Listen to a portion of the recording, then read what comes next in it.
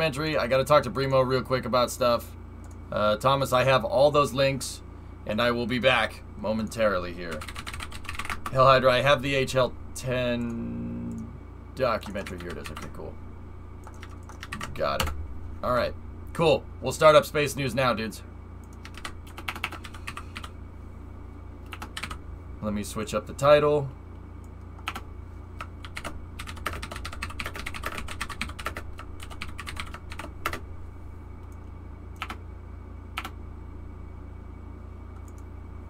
All right. Okay, title is switched up. Let me just make sure the audio on this is good. And I'll be back in a little bit.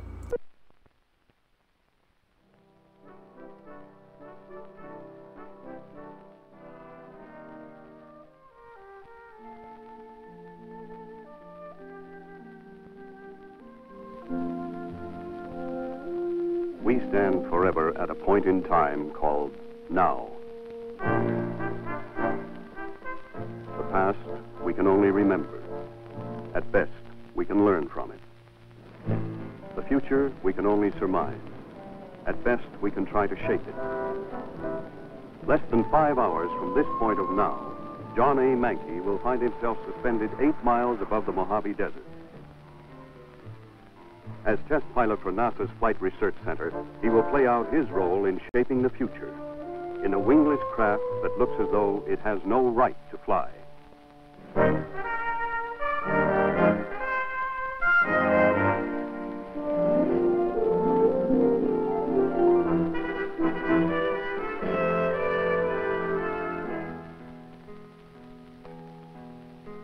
Three hours now. John Manke has already flown an F-104 over the test range to check for turbulence and returned satisfied.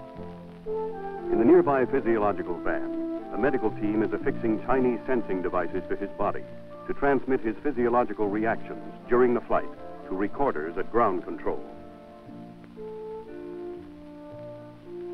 Since weeks before now, engineers and technicians have been checking and rechecking every fitting and instrument and connector in this lifting body called the HL-10.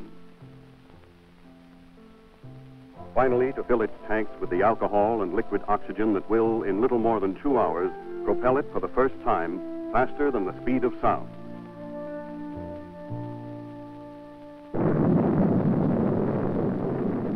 Getting men into space is one problem. Getting them back is another one. They ride out on thundering names like Mercury and Gemini and Apollo. Batter their way back through the searing atmosphere at more than 17,000 miles per hour. And once through that barrier, ride parachutes to an ocean splashdown. For infrequent missions, a widespread recovery force of dozens of ships spread over hundreds of miles can be justified. But as more and more men are suited up to leave their world, as flights to and from orbiting space stations become more frequent, then easier, more flexible, less costly ways to let them return simply must be found.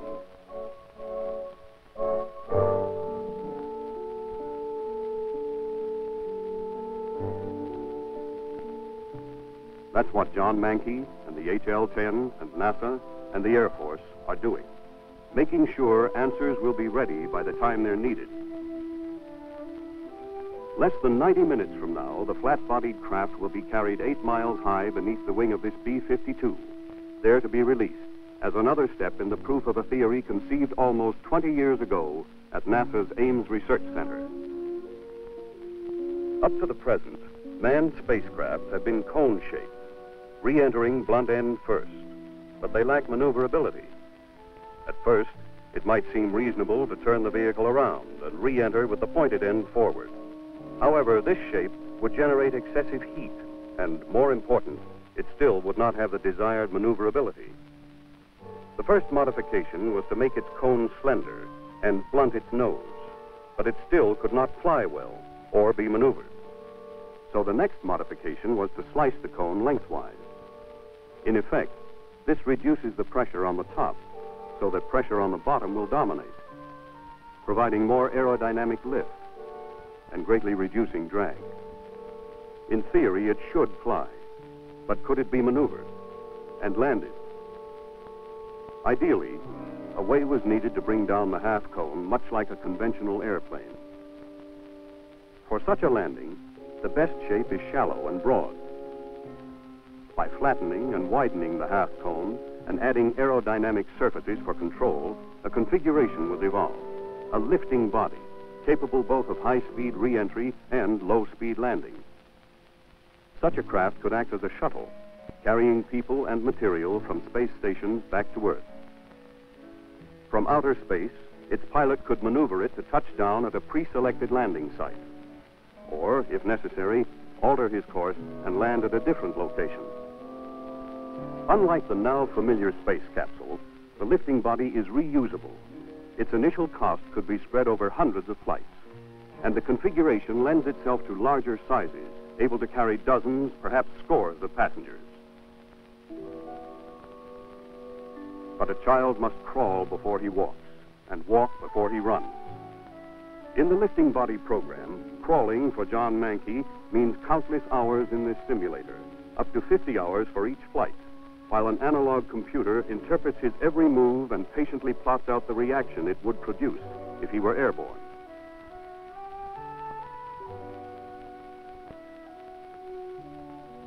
And it means many dead stick landings in an F 104, trimmed to approximate the lifting body's characteristics.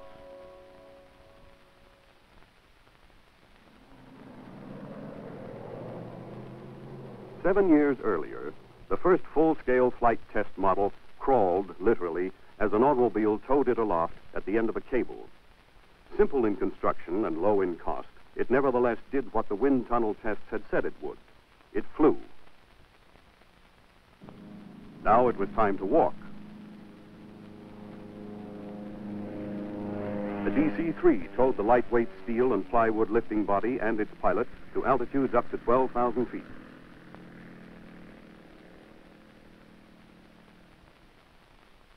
There it was released and allowed to glide in free flight to the desert floor, to land at a speed of 80 miles per hour.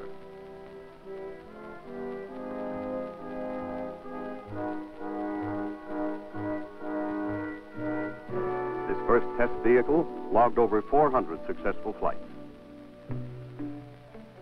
But all that is the past for John Manke.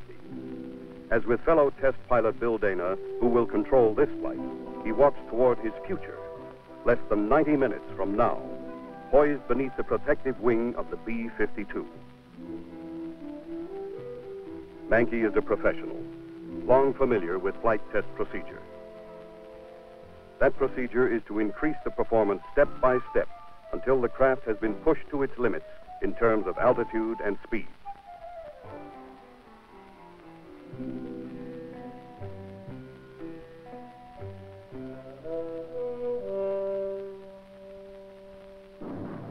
Lifting bodies have flown before, of course, and many times. The first heavyweight configuration was called the M2F2. On a hot July day in 1966, another NASA test pilot, Milt Thompson, made the first glide flight.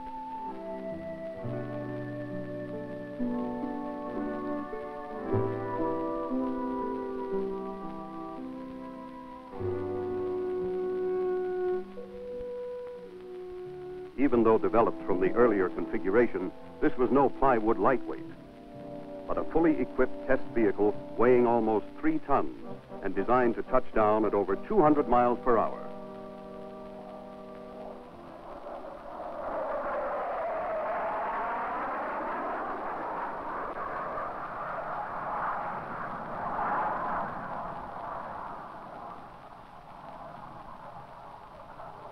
Mile drop took less than four minutes.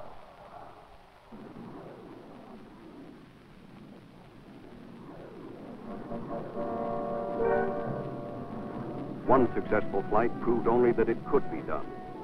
Refinement, improvement, the evolution of an idea into a working system would have to come from many such flights. From hypersonic wind tunnel evaluation, and from constructing and testing a number of different designs.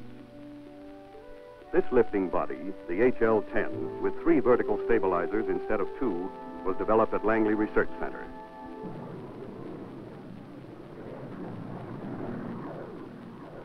Less than six months after the initial M2F2 flight, the HL-10 took its first plunge to the desert, with NASA's Bruce Peterson at the controls. Then, shortly after launch, trouble. Problems with the controls.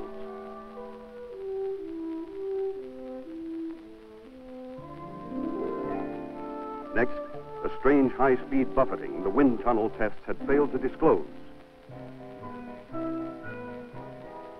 Peterson could have ejected, but he still had control of his craft and chose to ride it out as the ground reached up for him at more than 200 miles per hour.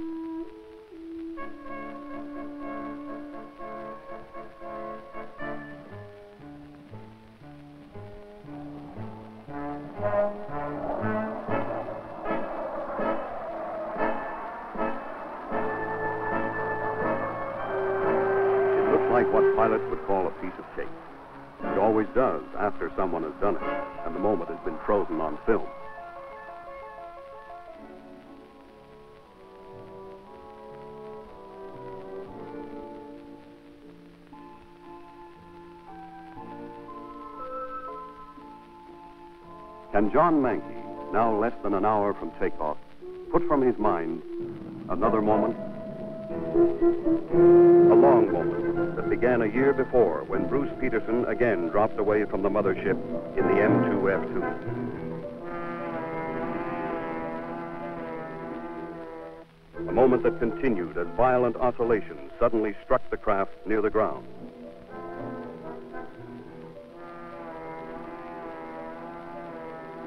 Pilot managed to recover, but too much precious time and altitude had been lost.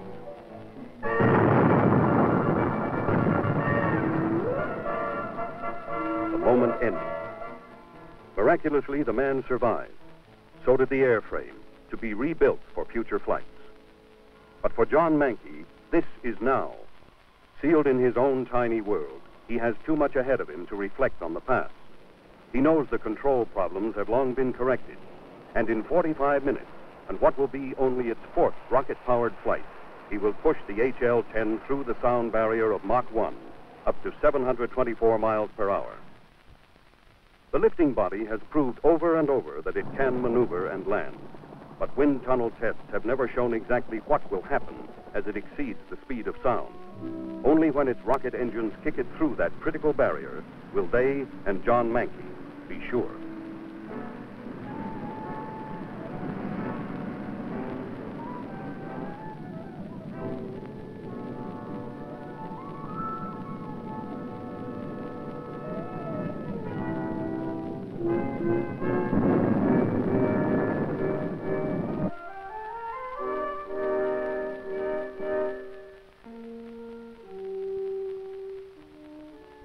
Test will be labeled a success, though of course he can't know that yet. To the scientists whose speculation made it conceivable, to the engineers and technicians who made it possible, to John Manke, whose life depends on all of them and his own skill besides. This is the successful completion of another milestone. But in a broader sense, it is just a test. Another step in the evolution of an idea. Future flights will go higher, up to the fringe of the atmosphere, and return at speeds well above the speed of sound.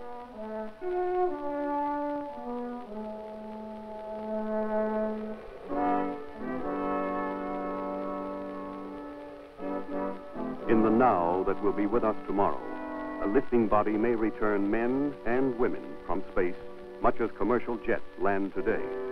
Or from this work, some new, as yet unthought of configuration may emerge. For the moment always with us called now always changes.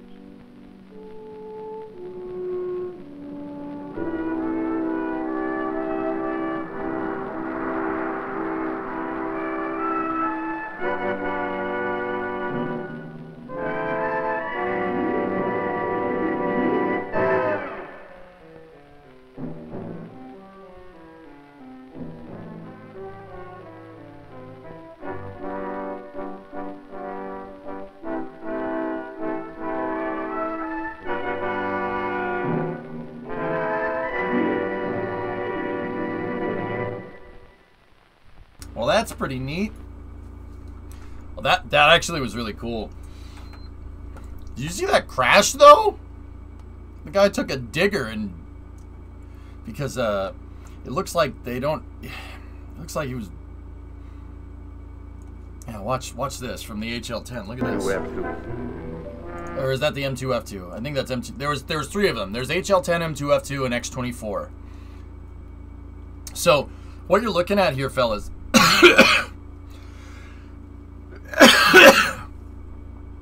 Um, what you're looking at here is the. Uh,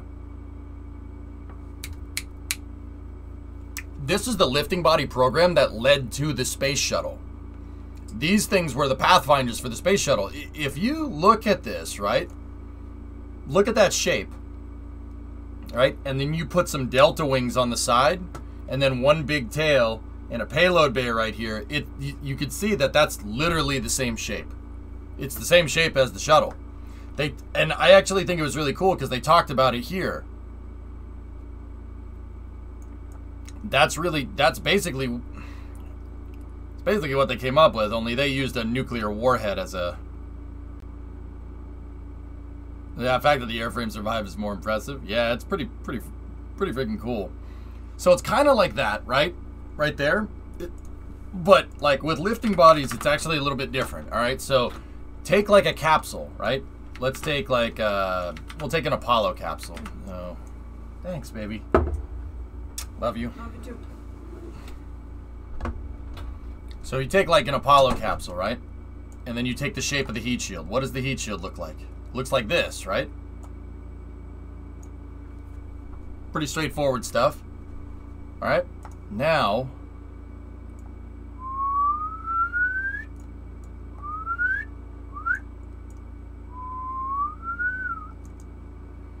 so you're just left with the heat shield, right? Now, because with the shuttle, for instance, you have a little bit of a rearward center of mass, you want the center of the heat shield to be down here. So it needs to be like kind of offset to one side, right?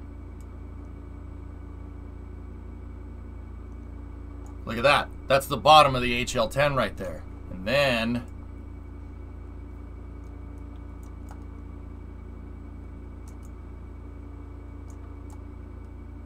That's a terrible version of the shuttle's wing, but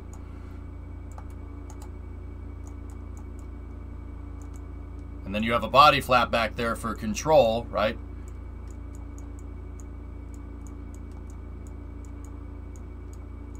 Right? And then and then you got your OMS pods right there with their engines on the side. Look. That's it, man. That's how they came up with the shuttle. The bottom is just it's literally that same like kind of cone shape, but it's offset to the back from where the wings are.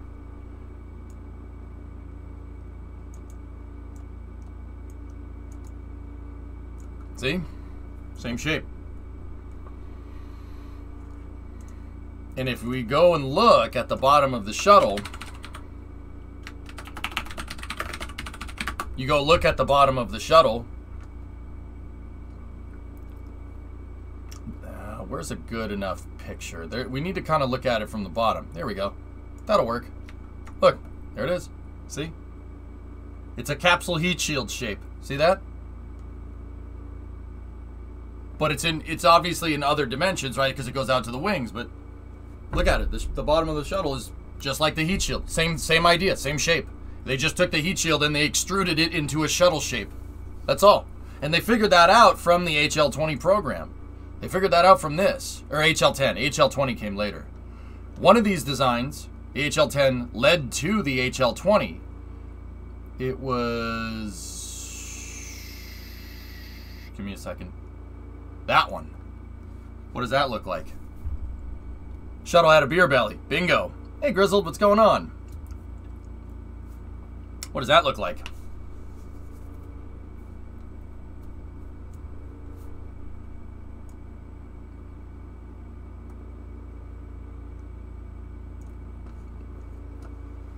Hank, you got it. You got it, dude.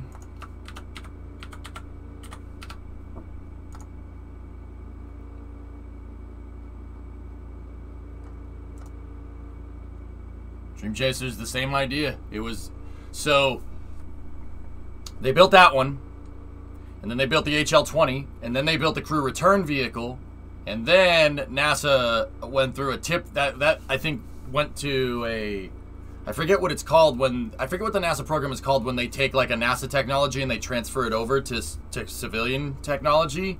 But the HL20 and the crew return vehicle went to that, and Dream Ch- Sierra Nevada is the one that it went to, and they made Dream Chaser. Looks like it needs a linear aerospike. Oh, don't do that to me. Well, the funny thing is, is that the X33, the X33 is the same shape. Same shape.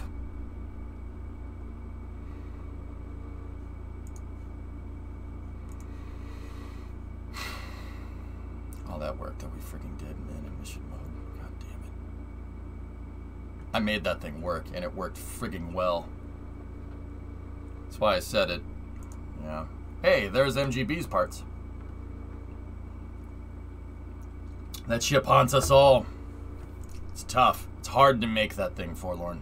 I could I could make it now. I could make it better, but I think I've made enough reentry vehicles for a little while. At least on a big scale. But yeah, that was the HL10 documentary. Uh, a little little quick one from NASA. Let me start transferring over the Space News links and we'll go from there. So, uh, Falcon 9 got moved again. It was supposed to be this morning for the L85 mission, and that is tomorrow, Easter. If you celebrate that, then you get it. Uh, and, um, and, uh, yeah, it's tomorrow at, yeah, I think it's 9.40 in the morning. I'll, I'll be here. I'll be here. I gotta wake up for Easter anyway. Actually, that one is 9.13. So that's the L-85 mission going out of Vandenberg Air Force Base. It's launching on a Falcon 9. Uh, reused stage 1071 is the stage that's uh, that they're uh, working on. That previously launched. I think the last mission that it launched was uh, L-87. It was another NRO mission out of Vandenberg. Same pad with another reconnaissance launch office. Uh, launch off reconnaissance yeah national reconnaissance launch. National reconnaissance office launch. North wilkesboro is coming back? Really? Oh geez law dog. Anyone remember the time when anyone here remember the time when ej invented something in ksp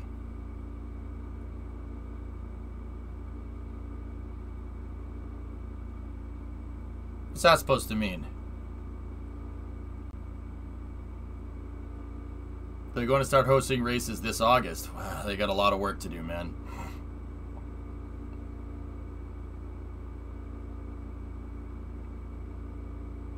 A couple of weeks ago, nearly, I made a plane that didn't exist. My own design. I made a uh, auto auto rotating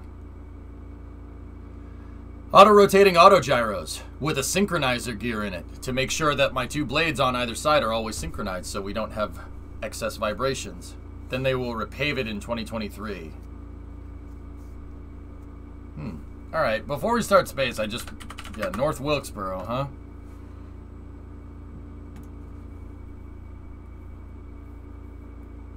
I got back into Kerbal again. Anyone here know how to mount landing gear wheels to tail fins straight? Grizzled, are you are you on PC? If you're on PC, hit 2 on the keyboard to open up the widgets, right? Actually, hit 3 for rotation to open up the gizmos, the rotation gizmo, and then hit F. And uh, uh, if you hit F, something on your screen will pop up that says absolute. It'll snap it to the world grid, so it'll be straight up and down. You can snap it in th all three axes of rotation to make sure that the gear is perfectly straight. Except the Soviets built it first. Built what first? What did you build first? What are you taking credit for now?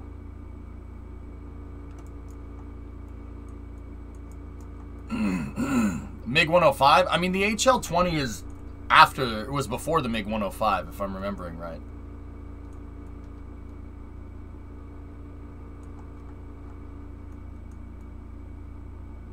Alright, hang on. Let's check out the NASCAR thing. North Wilkesboro. North Wilkesboro is like one of the North Wilkesboro to NASCAR is like what Fenway Park is to baseball. It's but the thing is, is that North North Wilkesboro for North North Wilkesboro for whatever reason. Where's the Where's the track bandit? I don't know where it is. It's around here somewhere.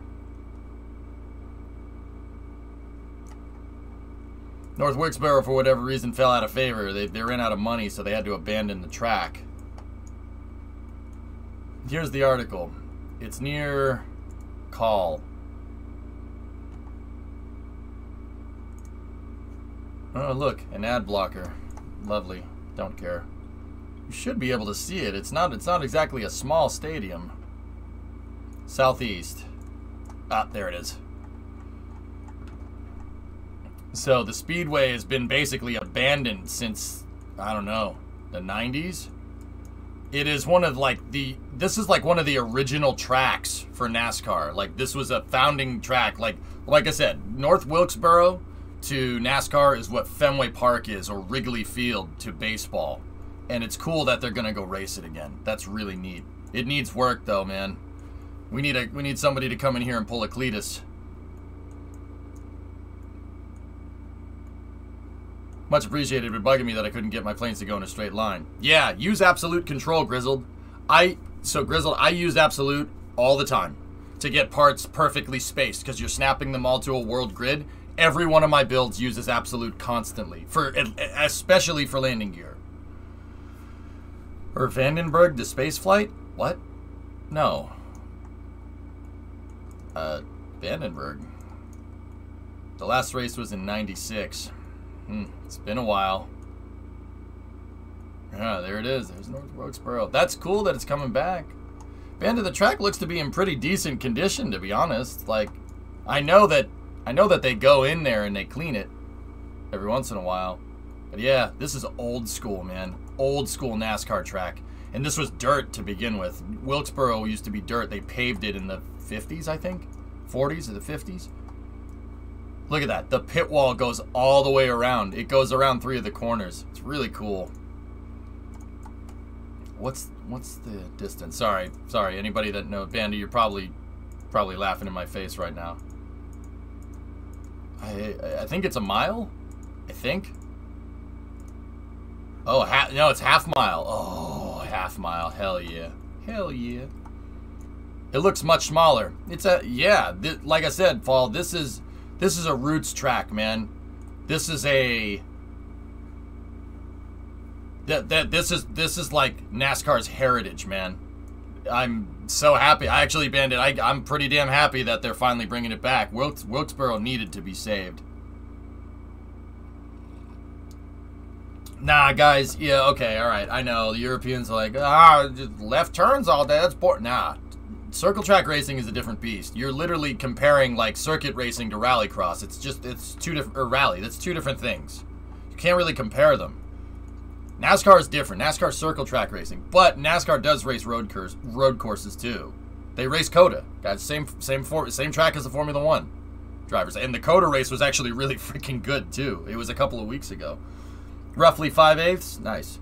Sorry if what I came out sounded like offensive or something. I meant the times where you invented hinges out of thermometers. Oh, nearly okay. Yeah, yeah, yeah. I was like, wait, what do you mean? what do you mean? I invent things all the time. yeah, yeah, yeah. Dude.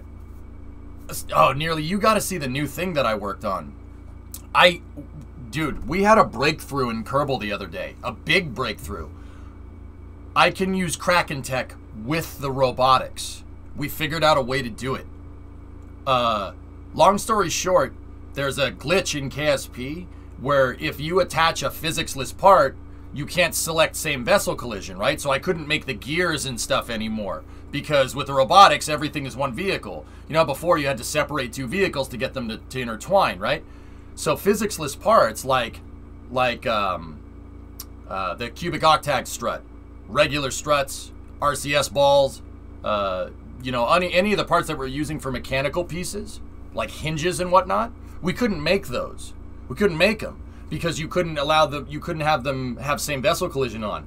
But it turns out inside of the editor, if you attach the like a uh, an RCS ball to a part and then you go into the action groups, uh, or if you attach the RCS ball to a robotic part, you can trigger same vessel collision and you can assign it to an action group, and then you can take it off. And the flag for same vessel collision stays there. So, dude, I can make gears, I can make mechanical components, and I can make it all one vehicle. I had a breakthrough. That- That's that's a huge that's a huge deal in KSP. It's that's that's a very very big deal. Um, yeah, we can. I can make like track vehicles. We could make tanks. We could make whatever. Uh, I used it. What I did, what I did nearly is I made. I made a, a helicopter, right, that had two helicopter blades out on its wings. It ended up looking like a Mil 12. It kind of looked like, um, like this, right? I made something like that, and I put gears attached to the drives on either side, and then there was there was another gear like this, and they would connect together on one shaft, right? So that meant my blades were always in sync. I could literally drive the helicopter off of one engine. We could fly the helicopter with one engine powered and the other one unpowered because the gears were driving two rotors. Yeah. Super Wojo is gift continuing the gift sub they got from Predominant. Oh, thanks, Wojo. Did you ever use mods for KSP? A couple here and there over the years, addiction. Nothing big though. No, I like breaking or messing with the stock game. Yeah, I'll show you after space news if if we have time. Nearly. That was a fun little battle last night in the TAs. Oh, Ren, you were all over me, dude. I couldn't make that AMX stick to the track for the life of me. I couldn't. I couldn't do. I couldn't do it, man. I couldn't do it. I, I, I was like, oh no, Ren's behind me. Don't screw up. Don't screw up. Don't screw. Ah, I screwed up. it was fun though. Those dude, that Trans Am series is sick. I like that a lot. Uh, Aeroflot. Aeroflot is fun to say. Yeah. Interesting in the chicanes. They're great for a track like Sears Point. Yeah, those. You know where those would be good? Road America. That'd be really good. But yeah, Ren, the reason I was using the AMX is because those are all 1970, 1969, 70 muscle cars. 69 and 70 in the Trans Am series, that AMX won in real life. That's why I used it. But then I noticed nobody was using a Challenger. Now I gotta use a Challenger next time. anyway, so cool things with North Wilkesboro. Cool things with KSP. I'll show you. Yeah, no, nearly. I don't like making it all one vehicle. Like, that's a big deal. We can make some really cool stuff. And I can make hinges. I can make hinges that don't drift.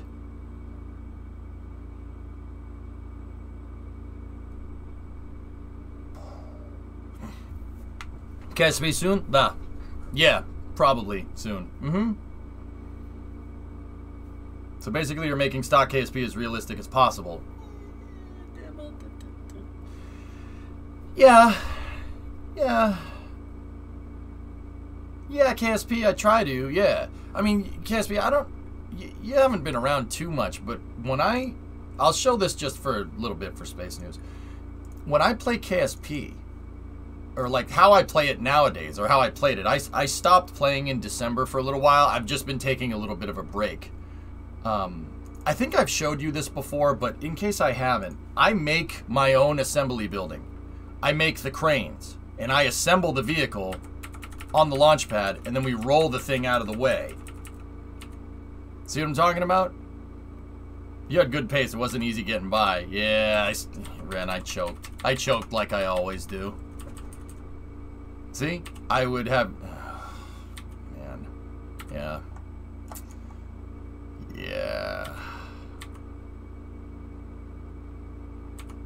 Yep. Make my own integration build. Damn it. I... Oh, I really should get that working. Mission mode will be coming back soon, guys. Don't worry.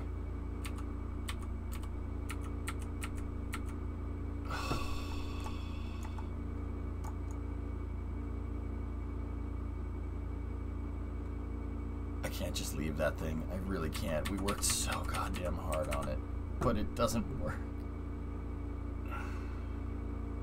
Uh, that's the. I made Venture Star. That was the last thing I did in mission mode, and I made the X33 as well. Yeah, you guys want to see how? You guys want to know how big this is? Um, so you see my stingers that are on the back for RCS? See one of those from that black line to that black line? That's how big a Kerbal is. That thing was gigantic. It was beast. There's the small one. Ugh. Yeah.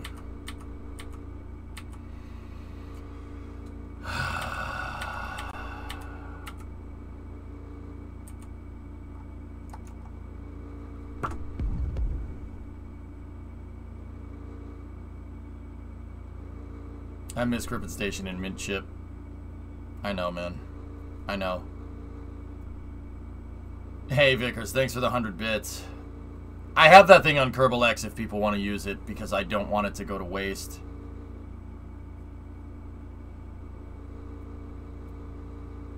It's a full presser if you want to watch it later. Yep, yep. Really went for the space program. Well, mine didn't blow up on the pad. Or theirs didn't blow up on the pad. Mine did. I'm telling you, man. In December, in December, when I finally fixed everything on this and I put it on the pad and the pad blew up, I... I was like, alright, I'm done. I'm done. I can't do this anymore. I worked on that for six months, man. Ugh. So much goddamn work. Why do you seem down? Because it didn't, it never did what I wanted it to do. It basically ended up like the shuttle. It never did exactly what I wanted. I couldn't, I ran out of steam, dude. I, I, I just, I'm like, I, I can't do this anymore. Do you have the stuff from Project Minchip on Kerbal X? It should be around there somewhere. There it is, deploying satellites. Yeah, guys, if you want to use that SSTO, you can use it if you're playing regular Kerbal, and it is damn good. It is damn good. It's really good at reentry. Uh, gets a little finicky in transonic because it's a wedge of cheese flying through space. What are you going to do today in KSP? I don't know, KSP. I need to do trade studies about moving things around. Uh, because I have some ideas for a new project, but what even was the issue with it? I can't remember now. Something with the pad.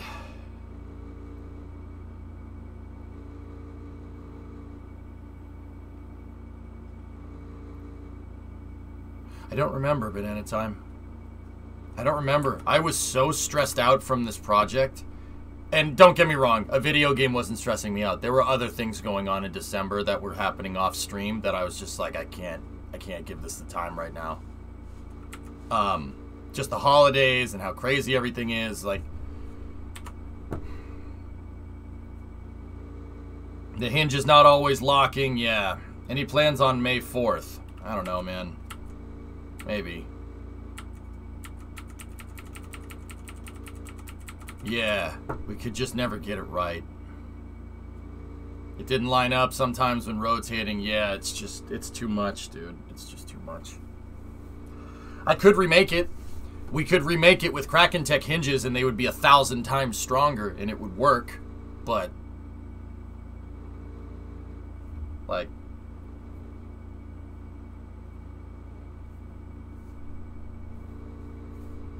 I don't know. With Project Ares, guys, I kind of want to go back to launching rockets. Like, the, like kind of like Freedom or something.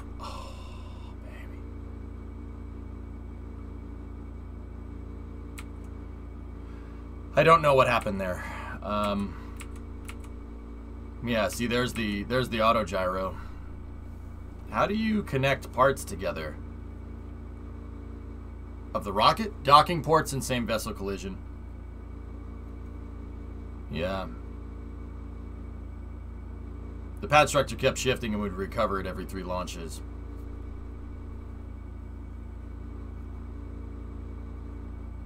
Yeah, Hellbore, I think that's... I, I want to go back to... With Project Ares, I don't want to copy Falcon 9, but I want a vertical landing booster like that.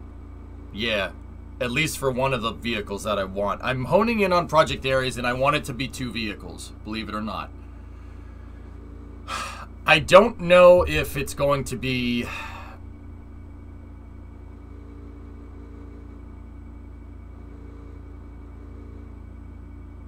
I don't know if it's going to be. Um,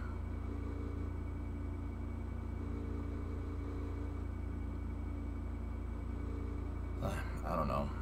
I don't. I don't know. I don't know what I want. I really would like down mass capability, like being able to bring stuff back down, but also. Dude, I love this. This is what they plan on redoing the Speedway. They plan on redoing the Speedway so it looks vintage. That's awesome. Yeah, that's going to look really good. Um, yeah, Hillness, that yeah, that has something to do with it. Um, we can talk more about this when I went when we go and play KSP. Um, what are you going to use as a crew vehicle? Beer, that's still up in the air. Uh, I I don't know. You can make some sort of space tug that just has a cargo bay and an inflatable heat shield for down mass. I don't know if that's too unrealistic though. Bring Condor back, just modernize it and put your focus into the super heavy lifter. I'll think about it, Phil. I want something like like Condor, but yeah, there's some things that I got to figure out, you know. Ever played RSSRO? Eh, no, not really. Um,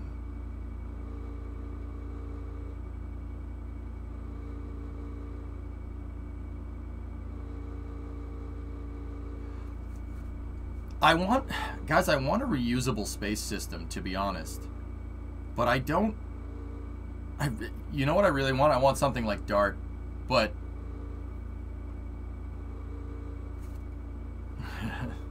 you know,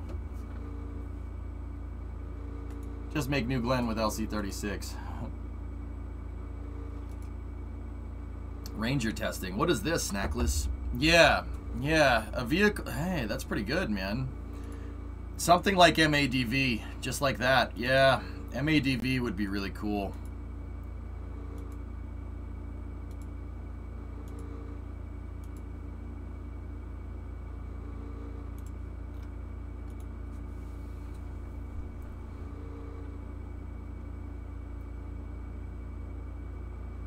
Uh, it's not going to be Dart exactly 2020. I need, yeah. Yeah, Snackless, that's really impressive, dude. Nice MADV. Could you just do Starship?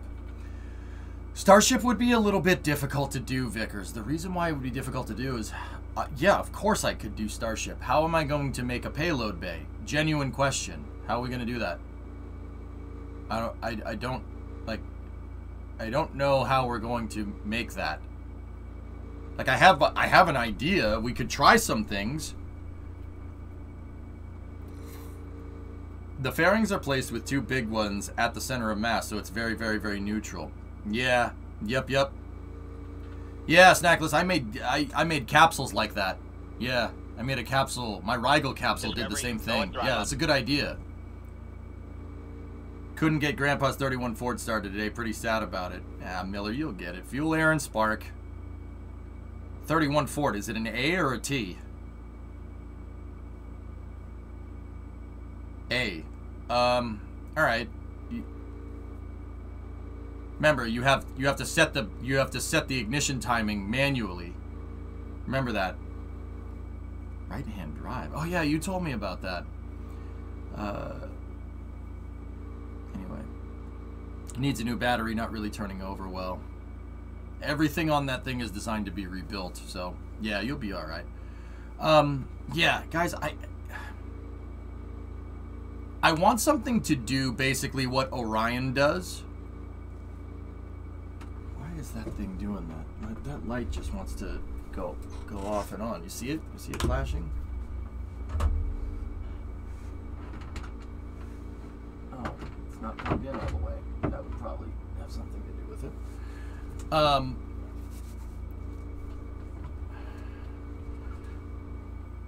so, all right, you know, we'll talk about it a little bit. I want something like the Orion capsule. I really do. I think Orion is a great idea. It's a deep space, long long duration capsule like this. I want something like that. But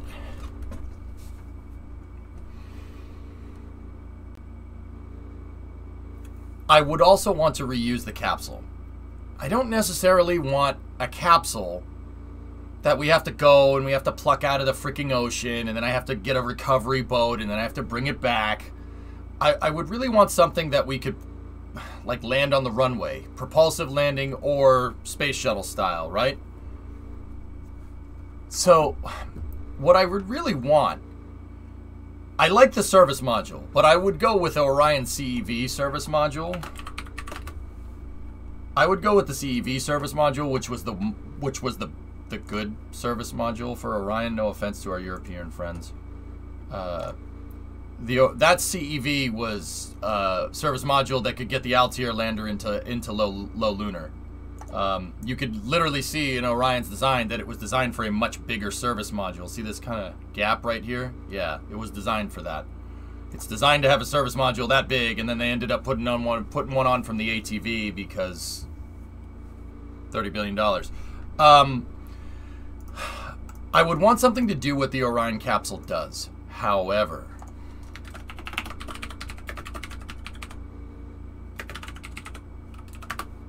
however, it would be really nice to make something like this. To make something like this, but instead of shooting star just being a adapter, that's a service module. However, yeah, yeah, that would yeah, that's what I would want. I would want that. I wouldn't want I would want Dream Chaser with like an Apollo CSM attached to the back. The service module can be disposable. I don't care. It would that would make it very easy to reintegrate. But see, once again, I don't know how the heck we're gonna do that. Like, how how would I make Dream Chaser? How would we make that work? What would the launch vehicle look like? Would it look like Ares 1? Would it look like Saturn 1B? I don't know. I don't know what that would entail. What is this?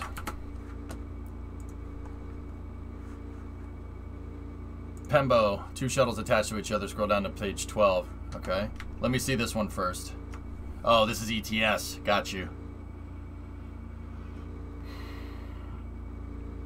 Yeah. The Hermes trunk?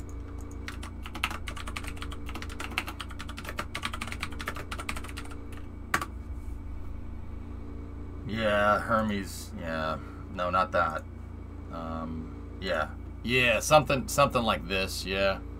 If you're to go expendable on stage 1, focus on SRBs. I'm not I'm not necessarily I don't necessarily want to go expendable stage 1, Synerd. What I'm trying to do, guys, is not I don't want to copy any particular architecture. I want Project Ares to be my designs. Like the helicopter was my design. You know, the the gyro helicopter that we just made is my design. Yeah. I think Hermes would be a good thing for Hermes would be a good idea. This would be a I mean Dart it, believe it or not, Alex, Dart it was based off of Hermes the most.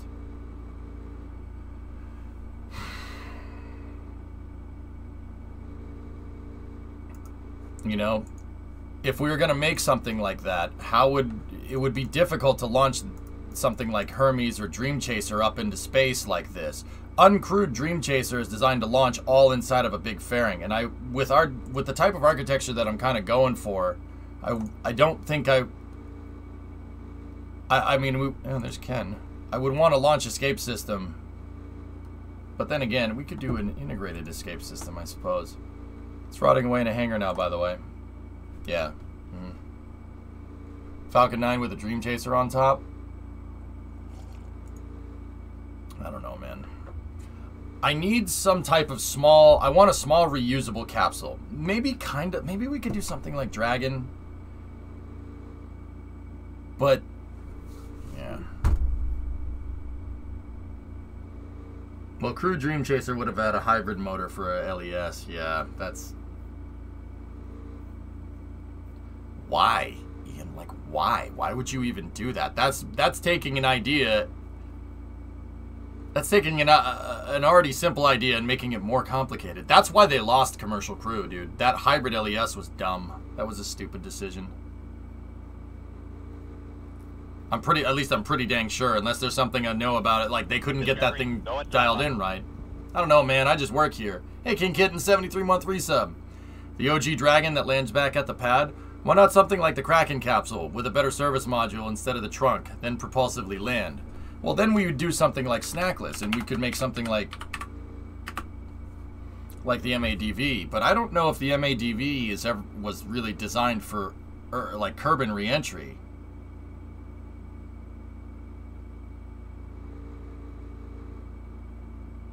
Yeah, I can't tab. I don't want to risk it. It's too risky, just like it is in real life. So why did you cancel Dart when it seemed to work so dang well? It didn't work so dang well. It killed Jeb. What about a hovering launch and landing drone ship? MADV is Big Chungus shuttle. Big, big Chungus. B-b-big Chungus. Can you imagine? There, uh, in, there's a distinct possibility that in this timeline we get both of those. Only, obviously, Starship with its updated flappity flaps. Robotic folding wings. Robotics at difficulty, dude. Uh, wow. Snackless, is that yours?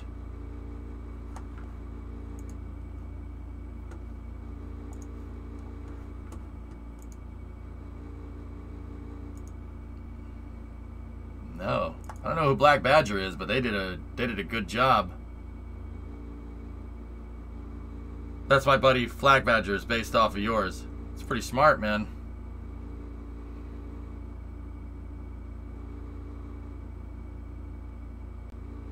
That's cool.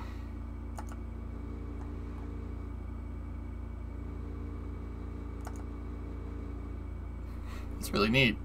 You guys did a good job with that. That looks cool, especially with the cockpit up there, side by side. That's neat. Like, yeah, I need, I want something to do basically what Orion does, but I'm not necessarily sold on, you know, like landing out in the water and prototyping reentry, like, but also, like, okay, here's the thing, fellas, and I, I figure we'll talk about it. It's space news. Like, I have some space news to share, but uh, here's the thing. I don't.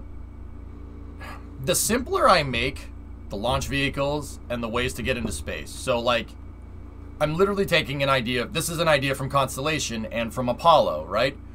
The idea is that your launch vehicles are pretty straightforward stuff. Ares 1, SRB, Hydrolox upper stage, moves the Orion capsule into space. That's it. That's it. And maybe you could put a cargo fairing on there if you needed it. But it's mostly designed just to launch people into space, and that's it. That's all.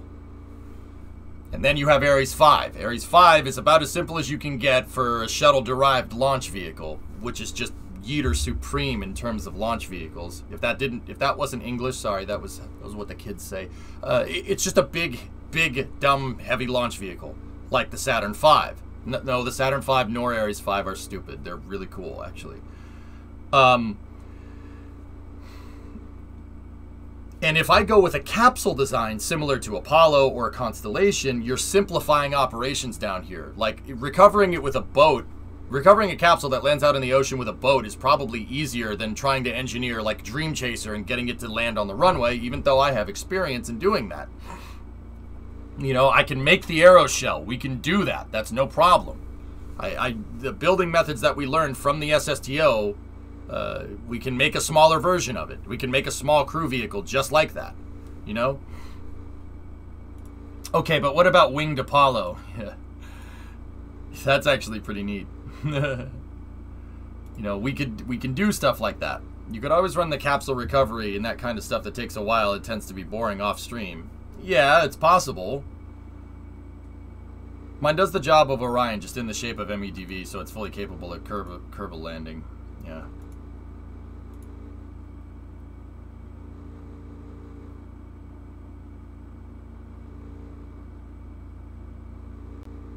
Snackless, I like that. I, that's, yeah, I need like a smaller version of that. But I like I like this. That's that what you know. Your MADV thing is actually pretty cool. And this is the kind of stuff that I want honed in for Project Ares before we even start. I want to know what I I want to know what I want to make. Gemini parafoil. Yeah. I'd say a capsule is the baseline for getting people to space and back. Well, can't tap like yeah, that's the thing. If I if we just do capsules, right? We just do capsules. If we just do that, and then I make the capsule reusable or something, which I have experience in doing, I can make the capsules reusable. I've reused capsules before with Condor. It it can it can be done. I reused capsules with I re I reused the capsules with Condor when I had no idea how to do any good reuse. Right? This was before Freedom. This was before Dart. This was before the SSTO like without like really truly reusing something. So SERV. Oh my god, here we go. I, I want to I would like to make my own designs, but uh, yeah, we we reused Kestrel capsules before and Rigel Rigel capsules for career mode could be reused. They could have been reused, but we never did it. Um, so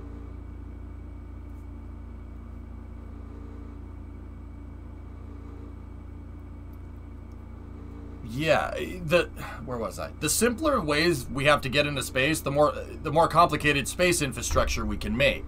Like if i just use a capsule if i just use a capsule then we could and you know basically simplify ground operations as much as possible. We could um it it would be it would be easier to do more space stuff and build like transfer vehicles and stuff where we wouldn't have to worry about like reusing and turning around an entire SSTO and redoing payload integration, etc., etc.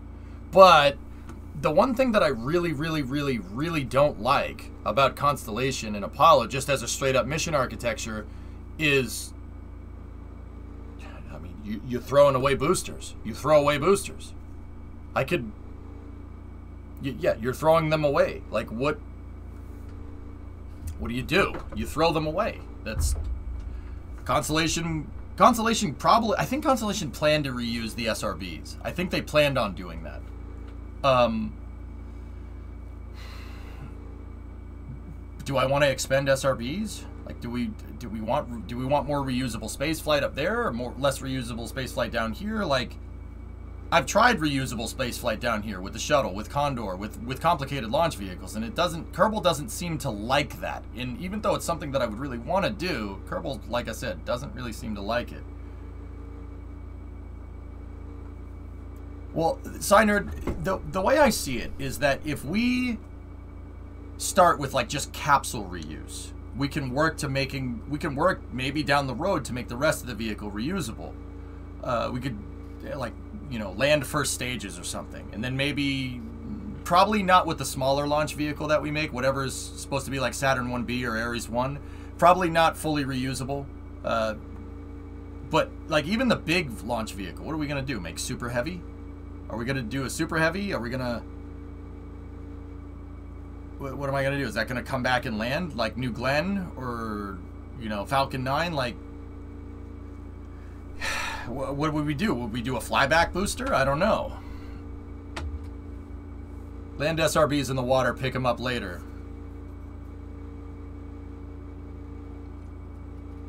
What about a flyback booster? What about a once around flyback booster? Smirks, why? Like, okay. I like once around flyback boosters. I think that's cool. But once around flyback boosters basically have to get you enough. They have to get you like 99% of the way to orbit. So why not just make it an SSTO? Right? Like that was my that was my rationale with making uh, Venture Star in the the K thirty three in Venture Star, the IXV with a parachute landing. Yeah, I don't like a, a lifting body that parachutes. Snackless. That's. I would prefer if we were going to do a lifting body vehicle like that that it land on land, but also, I need the whatever crew vehicle we use, capsule or whatever, right? Whatever crew vehicle we use, I needed to, um, I needed to be able to come back from a lunar trajectory. That's what the heat shield needs to be rated for. TKI, trans-Kerbin injection. It needs to be rated for that.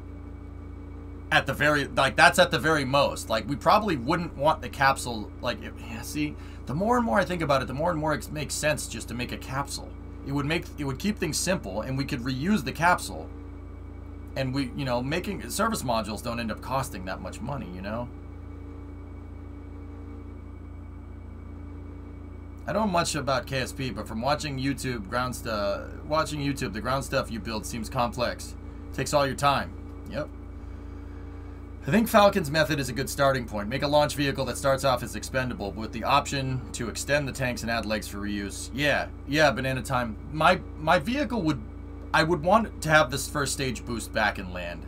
It, you know, I wouldn't mind doing a capsule, a reusable capsule with an expendable service module, with an expendable second stage, with a reusable first stage. That would be fine. Reusable capsule first stage, just like Falcon 9. I think, I think that's a good idea. So you know, somebody already said, "Oh, refurbish Condor." I, I would, I wouldn't refurbish Condor. I would, I would make my own version of that. You know.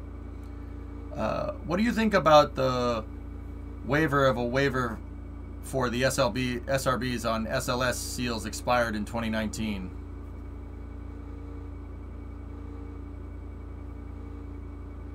As long as they inspect and understand the effects of of leaving them there alley and it doesn't increase risk adversity, then it's fine. Basically, the seals were rated to this. It's okay, so it's like if you have milk that's past the expiry date, all right? If you have milk that's past the expiration date, what do you do? You open the top and you smell it. You're either going to throw up right into the milk or it's going to be fine and you're going to have a bowl of cereal. Understand? NASA basically does that. So no freedom style flyback. I like vertically landing the boosters, dead crew, because I don't like the idea of strapping the jet engines on the side.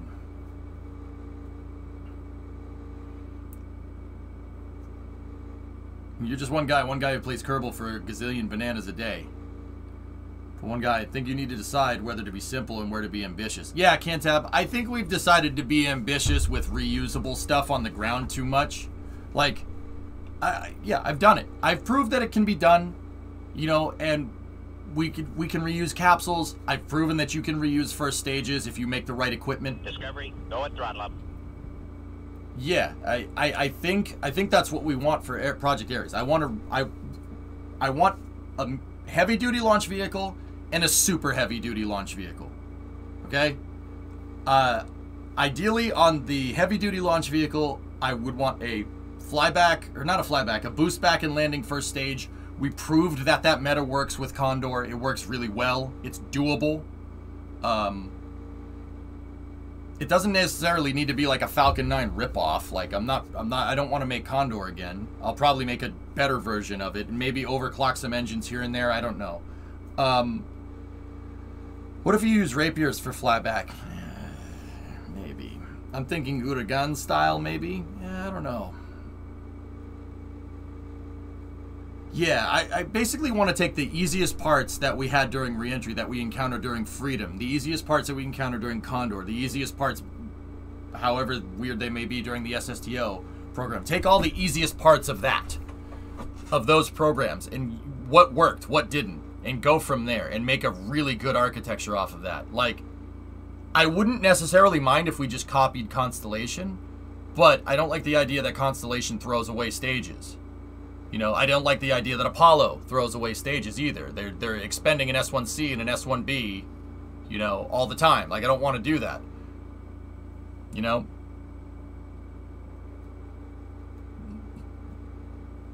What about landing an S1C Falcon 9 style? Well, once again, Creeper, I, I would prefer to take these ideas and bring them into Kerbal and do a trade study on what engines and like I wouldn't make an S1 I wouldn't make a, a Saturn 5 like boost back and landing stage. First of all, Saturn V, the Saturn V stage is too short. It's it'd be really hard to land that thing propulsively. Well, actually, you know what? You know what? You know, it could work. It could work. So like how vertical integration worked really well and horizontal did it. Bingo. But I can make horizontal integration work, Banana Time, because I figured out a way to make Kraken Tech. I can make Kraken Tech hinges in KSP, no problem on a, on all one vessel with the robotic parts. I can do it. We can make that. So I can do that now. Once again, that was the breakthrough when we were making the um, the K92 and the K29X or whatever. Hello, EJ. I went to Huntsville over spring break, and now I believe the H1 and the LR87 are objectively the best rocket engines. H1, JM. Yeah. Yeah, H1 was a good good motor, dude. LR87's ridiculous. Yeah. Jam, did you learn how LR87s is the only one of the only rocket engine that had like minimal changes to it that ran on kerosene, hydrogen, and hypergol? Yeah, pretty cool, huh? Constellation, but with Neptune. Something like that, granted. Yeah, yeah, yeah, yeah. If it's all one vessel and there's no robotics, how do the parts move? There can be some robotics banana time, but uh, yeah, the it would be robotics supplemented with Kraken tech. I, I, I can explain it later. Like, we wouldn't need a bunch of robotic parts to make the hinges anymore. I would just need one.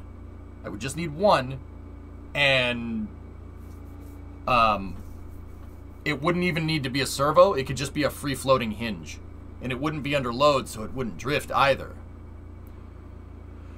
I can explain a little more in a little bit. Um, uh, basically, I can make hinges. We could do horizontal integration again. That's not that big of a deal. Um, also, I got to touch a Block 1 RS-25 powerhead, S3D turbo pump, and an Atlas F. Dude, we've looked at Huntsville. We looked at the U.S. Space and Rocket Center, JM. Isn't it crazy? How big is that Saturn V? It's pretty impressive, isn't it?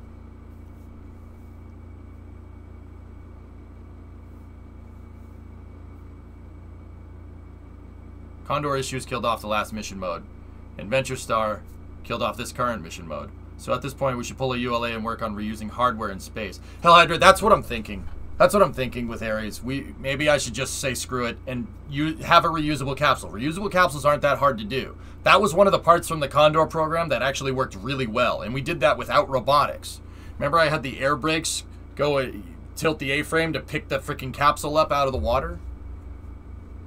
I wouldn't mind doing that, but I really like making reentry vehicles. Smart, we could do smart reuse signer. That would work with our boats if we wanted to do that, so we could get our engines back. That's a good idea. We could do that. I told EJ to make you a PowerPoint and have a press conference with you. Yeah, that's pretty. We should do that. Um, I'm just returning to my beloved France from KSC. Oh my God, what a trip it was! Standing in front of the aerospace relics gives sensations that I will never forget. Thanks for, for inspiring us every day.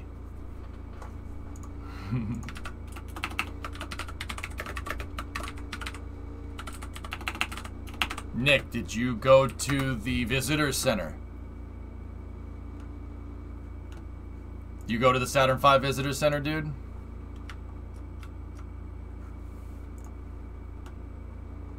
Tell me you took the extended tour like I said. Yeah. What'd you think? It's pretty big, isn't it? pretty freaking big, man. You can do boost back and then smart reuse. Yeah, Signer, I, I kind of want to bring the whole first stage back. It would be easier. Less steps for less steps for integration. She's big, isn't she? 10 meter. 10 meter diameter. Fellas, if you want some scale here, the diameter of the outer ring of an F1 here, that's a Falcon 9's diameter. So, like, a Dragon capsule is about as big as this F1 engine. True story. I've seen... I haven't seen a Dragon capsule up close. Huh. I've seen these up close.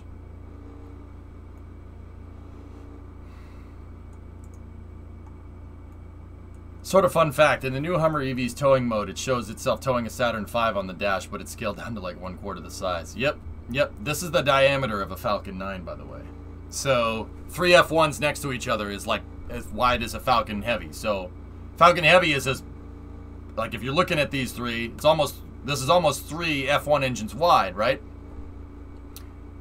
Falcon Heavy is as wide as one Saturn V core. It's it's ridiculous. There is a Dragon at KSC and even a Starliner. Oh yeah, there is. I have seen a Dragon up close. Oh wait. Oh yeah, I also toured Hawthorne. That's right. I've seen Dragons up close. They're about the same size. Yeah. Yeah, yeah, yeah, yeah, yeah. Have you thought about keeping track of how much money you're spending in mission mode? It's one of the rules for mission mode, Granite Heart, for mission mode 2. I don't know if you were here for mission mode 2, dude. Yeah, I wrote up a new rule set. MM2. Exclamation point MM2 in chat. I have a new rule set. But one of the big mistakes that I made with that rule set is, um, I let chat vote on engineering decisions, and I basically got Congress, and we, we basically ended up making something like SLS inadvertently, which really sucks, but whatever. Last link. Yeah, Von Braun with the size. Yeah, that's the best picture to convey scale. And Von Braun was not exactly a small person either. I'm pretty sure, if I'm remembering right, he was six feet tall. Is it MM2? Maybe we got rid of the command, dudes. Maybe it's M rules. Hold on. There it is. I, I it's M rules, guys. Sorry about that. I, I, I said it wrong, but yeah. See what I mean? Like, Snackless, what's up? What's your last? When I first saw the Saturn V, I went in the wrong way through the gift shop, and I said, "Where is it?" Because I was, because I was right underneath it, and I thought I was seeing the roof of the building. Yep. One of my favorite things is when I first took Brimo to the Saturn V Center, and we walked in and we saw the Saturn V. I knew what to expect. Brimo was just. She go. one of the first things Brimo said was, Okay, I see why you like this. Yeah, yeah, okay. I'm like, see?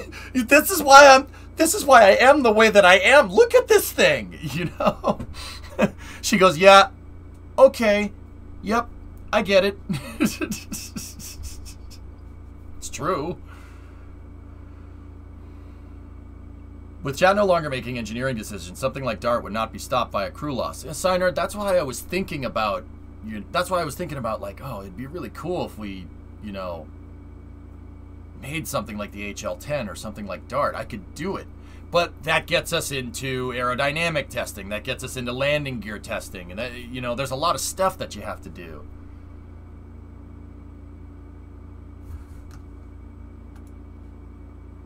Yeah, that's pretty much the face she made, Thomas, though. Yeah, she... Yeah, exactly, Bill. She's a beast. That was looking at the Saturn V. Yeah, when she first saw it. That's the uh, SA500F at the KSC Visitor Center. That's actually the test article. That's the propulsion test article from the Apollo program for Saturn Vs. It's not a real Saturn V, believe it or not. Yeah, that's right, Metric. Mm-hmm. If we're employing it in small scale, guys, it's pretty easy to make stuff in KSP. The Saturn phase. Yeah, Thomas, she was like... I didn't think, I didn't realize it was that big. I'm like, this is what I'm trying to say. I'm trying to tell you, look at this thing. It's a monster. I really like Muncrane. Yeah, Tom, that's some of the ideas we should bring back. Muncrane from career mode was a good idea. That was smart. You might want to skip the drop test type things and just strap whatever you want to test the disposable. Yeah, yeah, Signer. Mm-hmm. Yeah. Hey, Pearly, what's up? Pearly Cladipus. I like your name. That's funny. I was like, Pearl, Curly Plat, Pearly Cla Huh? I wondered for what Apollo that Saturn V was for. Well, when the Apollo program got axed, there were three Saturn V's left. Three Saturn V's and then the propulsion testing article. So four, there were four Saturn V's, four, four S1Cs, one of them being a test article, three being flight ready. There were four S2s, and there were four S4Bs. Okay, so two of the S4Bs found their ways in, found their way into museums. The other two were converted to Skylab. The the four S2s, one of them was used for the Skylab 1 mission and then three of them are in museums. And then the four S1Cs that were left over, one of them was used for Skylab. One's in Houston, one's in Huntsville, and one's at Kennedy. The test article is at Kennedy. Yeah. Yeah, that's I'm pretty sure that's right. Why is space so cool? Tabello, I have no idea. I don't know. I just love it. I love it. Rockets are the ultimate. It's so like I don't know. I I dig it. I think it's really cool. I I I don't I don't understand. I don't even know why I like space so much. Pics from the CRM one mission flowing on stream today. Enjoy. Yeah. Yeah, that was dude. That was a high point for Condor Banana Time. See last. Levy You see what I DM'd you a while ago? Hang on. I have, in the time since I started the stream, I have 25 new messages on Discord. Yeah, I'm, I'm not making that up.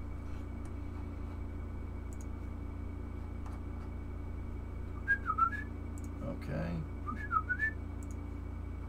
26.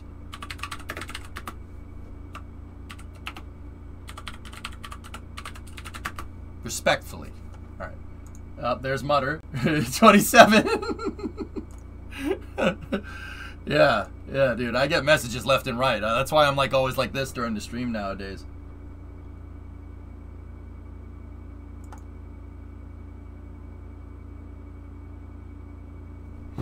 Lavi, that's the right. That's the right move. It, it, it's the right move. 28 from Remo. Okay. Sends a 26, 27, 28. Have you watched any of the documentary that I sent you yet? Which one did you send me, Creeper? I have like. Actually, I think yours was the next one. The one that someone wanted to wanted me to watch before yours was Return to Space, and I watched it, and I liked every second of it except for maybe the first 15 minutes where I just blew a gasket and got really, really mad. Yeah, yeah, it's funny. There's a lot of people that lie. Yeah, a lot of people that lie. A lot of, a lot of stuff in the first, the first like, I don't know, first like 15 minutes. Yeah, liars.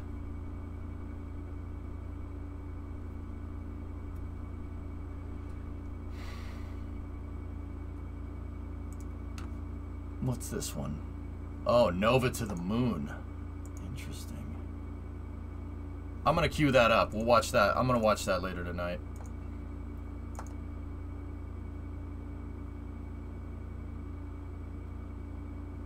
Also unrelated, the redacted three-letter company guys are sending me something from Edwards in the mail. Might need some help identifying it. They have no idea what it is either. Lavi. We all know what it is. Are you talking about the space shuttle was dangerous part? Yeah, what they said about the space shuttle is dangerous and how, you know, you know, we moved to commercial and that pissed off a lot of defense contractors. Herder. I'm like, yeah. Yeah. And they're like, oh, they didn't like moving to commercial. They didn't like it. They didn't like it. Neil and Neil Armstrong and Gene Cernan didn't like it. I'm like, yep, that's not what happened. Yep, no, that's wrong. Yep, yep. Yeah, wow, that's that's just a bold-faced lie. it wasn't even space shuttle slander. They didn't even mention Constellation. They just said they canceled the space shuttle for commercial crew because it's better, and that's literally that's it. Yeah, that's the only part of the Return to Space documentary I really didn't like. You can ask Brimo. I got a little upset. I got a little. I got a little mad. I'm like, that's wow. Lie to these people. That's good. Yeah. All right. Yeah. Yeah, Lavi. Yeah. Yeah. wow. Yeah, I got. I got a little pissed off. Yeah. Oh, that reminds me. I was looking into why Orion remained as a holdover from Constellation.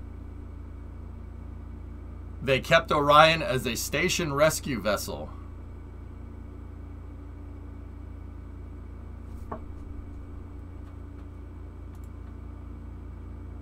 Emotional damage! Emotional damage!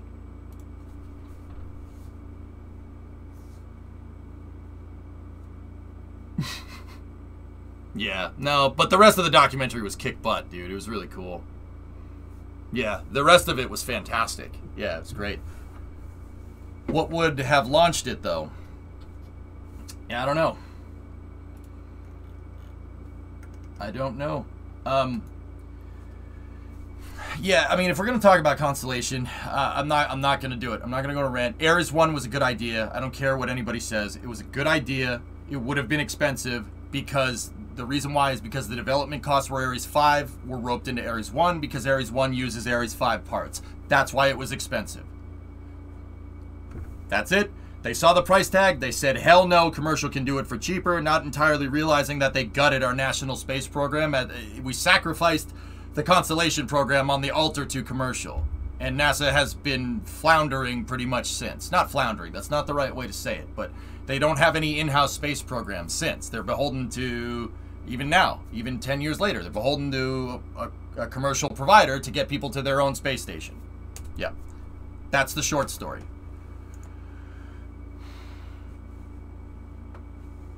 That's the short story, and I'm leaving it at that. Let's get back to talking about KSP architecture. We will right those wrongs, all right? I actually was thinking about it. One of the things that I wanted to do for Project Ares was just make Ares 1 and Ares 5. Just make it. Just make that. Use all expendable launch vehicles with a reusable capsule. SRB first stages, liquid fuel second stages that could be reused, but are simple in design and most likely expendable. Uh, yeah, I kind of ended up taking the space news to talk about trade studies for KSP, but people can learn about spaceflight here. Like you, you know, you can learn about it. That's why I voted for. Yeah, apatoxin. I was thinking about just doing that, um, but I, I would like to, you know, now that I'm thinking about it, like I, I wanted to just copy Constellation, but I don't. People, uh, something that I get a lot of is that people want to see my own designs, like the cigarette, like the cigarette first stage, freedom, the Freedom 10 uh, flyback first stage with the Taurus wing. That was cool. Robert Parker during the stream.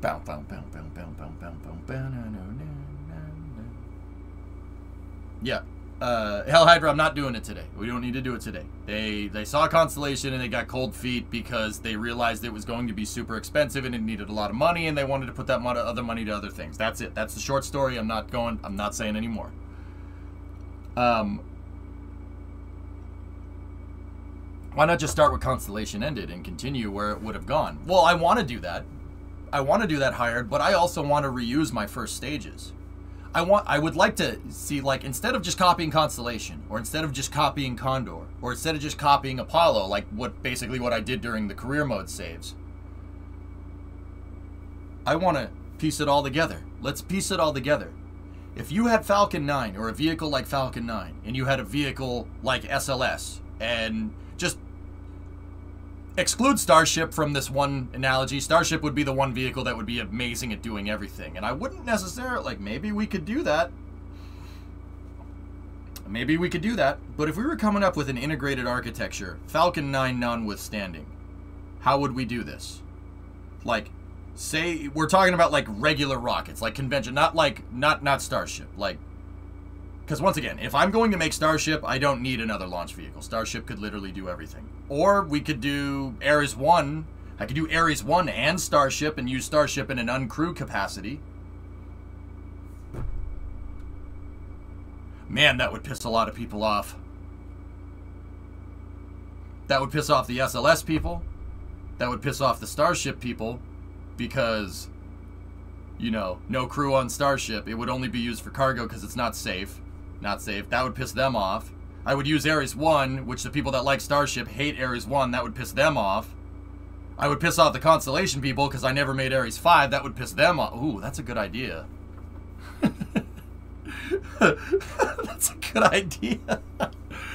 that would do. We just we just pissing everybody off today. No, um, I agree. Granted, I think Ares One is a good good idea. Did you see that burger level time article on SLS? Which one, Phil? The one by Cl- Jeffrey Kluger? I like the Twitter thread that happened as a result of that. That was pretty funny. Not to prolong KSP convo any further, but relevant relevant link for what I brought up. Last paragraph under the Constellation program. Okay, who wrote this? Let's see. This was from April 15th, 2010.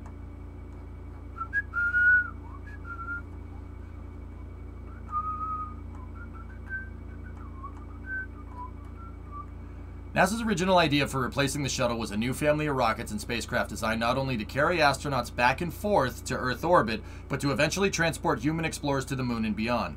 An advisory panel that looked into the future of human spaceflight found that the Constellation program had been long underfunded.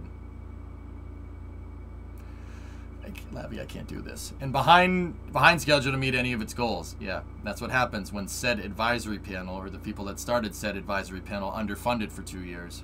We've investigated ourselves and we've found no wrongdoing. Based off of those findings, a new budget was proposed that would pull the plug on the program. Yep. Okay. Yeah, yeah, Phil. Yeah, funny how that works.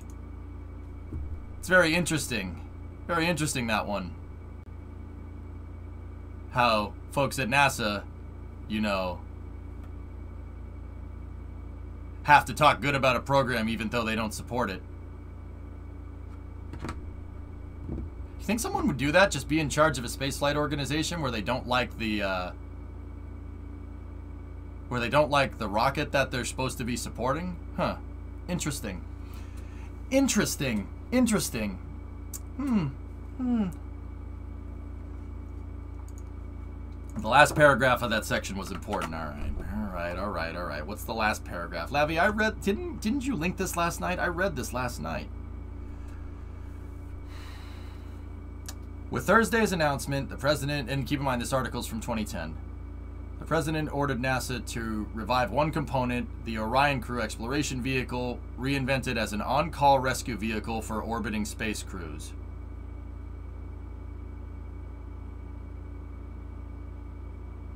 Oh, God. Okay. Okay. Hey, human, I can see you. Hello, V Gates.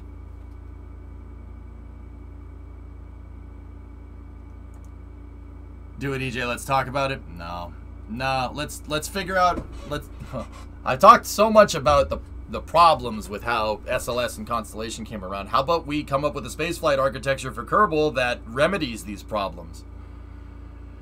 Yeah, part of that smell felt like a smack, smack in the face. Yeah, Levy, I remember. Like, don't take this the wrong way. You were probably too young to remember it at the time. I remember reading articles about people saying how like oh yeah we're going to use Orion as a rescue vehicle for the I you know for the ISS and then the you know people would be like oh what are you going to send it on oh we'll send it on SLS I'm sitting here and I'm like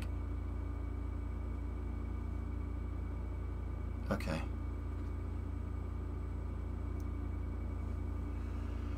no Brimo I'm good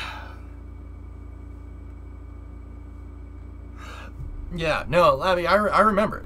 Okay, guys, part of the reason why I'm so, like, I will never, I will never not take a moment.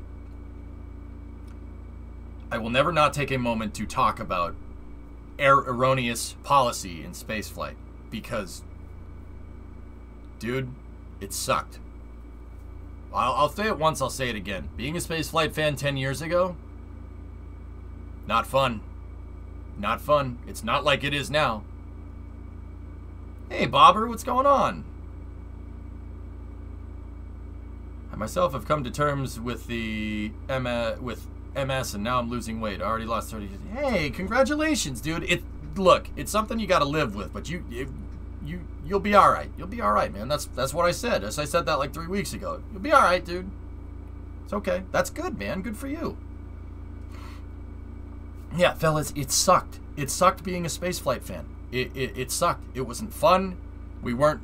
And you know what? To be fair, the the Return to Space documentary on Netflix talked about this. They came to the wrong conclusions. Like, your conclusions were all wrong. I've read, I've seen this documentary. Your conclusions were all wrong. They acted stupidly. What books have you written? You can anger more people. There's still the crew shouldn't launch on SRB's crowd. If you make SRBX and Omega, yeah, Signer, that's right.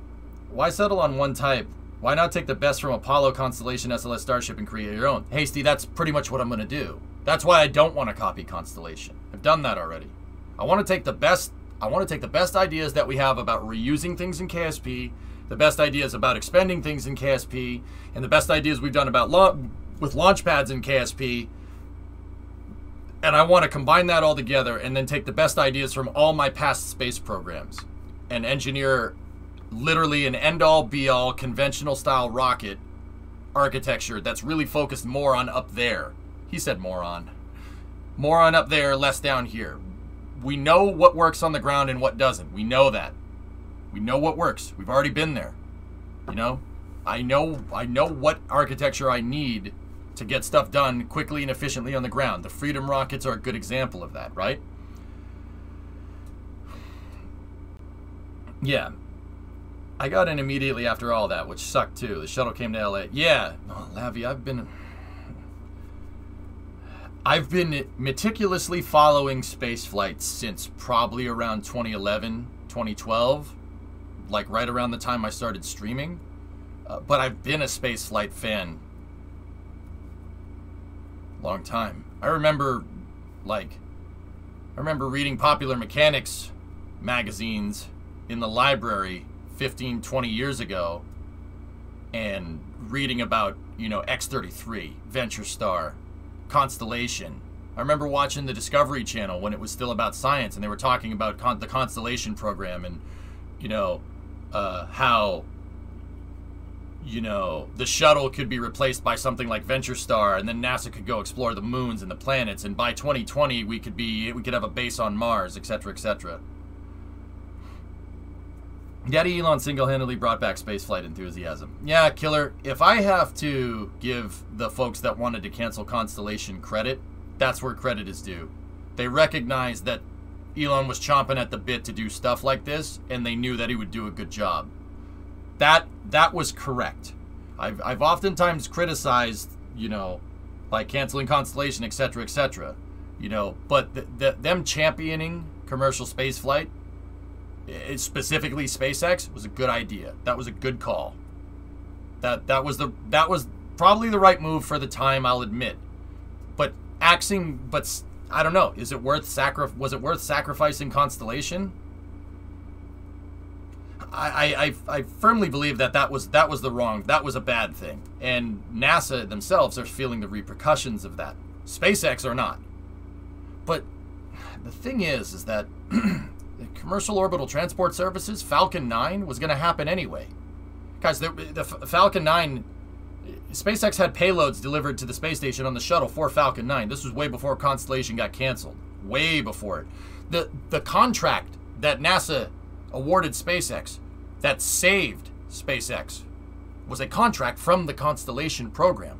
This is before the people that got in that got that started running NASA that wanted to cancel Constellation. That contract was awarded before they were even there.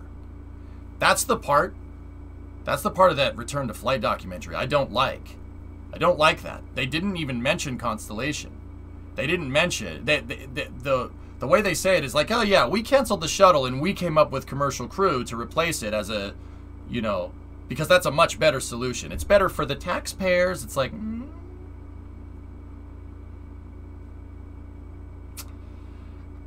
No, no, that's not. That's not like they lied. Freaking lied, man. they, they lied blatantly. Like Wow. That's wow, that is a bold-faced lie. Should start with disposable and get moving. Yeah, I agree. Mm-hmm, mm-hmm, mm-hmm. Technically, no space program is best for the taxpayer in the short term.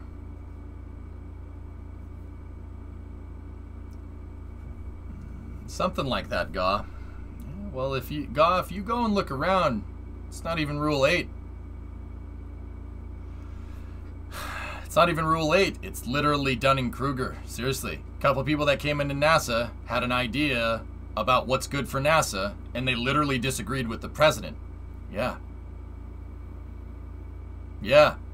And went behind the backs of like NASA administrators and the executive branch to get Constellation canceled. They went out of their way to get Constellation canceled. Unconstitutionally. They went behind Congress's back. Why do you think Congress freaked out and made SLS? You know that Project Constellation had like overwhelming, like 95% support in Congress, right? Everybody knows this, right? Even up until the point where it was canceled. Interesting, huh?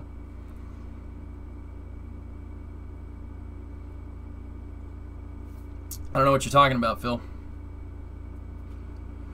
So when is the wet dress rehearsal and liftoff? Janet, really, they have to okay, this is going to be an intentionally vague answer because I don't even think NASA knows what they're going to do right now. They have to they have to look at the data. They have to look at what caused whatever what caused the uh, TSMU uh, hydrogen catch can leak. They have to look at it and they have to figure out if you know if that was a one-time thing. Was it an isolated incident? What happens when they do it again? Will it leak again? Is there something wrong with the parts? Uh, So I don't know. It could be anything. Um, I don't think they're going to. I, I don't know. They they basically have to get people out there and physically look at the rocket. Like you have to physically look, and you have to make sure that your telemetry is matching the physical the physical rocket. It could be just something as simple as a as like an O-ring didn't seat correctly on the on the catch can TSMU or something, or the perforations in the the, the catch vessel for catching uh, hazardous gases aren't working correctly, or they're or they sealed, or they got clogged with ice or something. There's a bunch of there's a bunch of things that it could be. They have to figure out what caused that leak you can't have hydrogen leaks, which is funny because hydrogen leaks are really easy. Uh, uh, hydrogen leaking around on a rocket is about as simple as spilling water in a bucket with holes. Yeah. Yeah, it's that simple.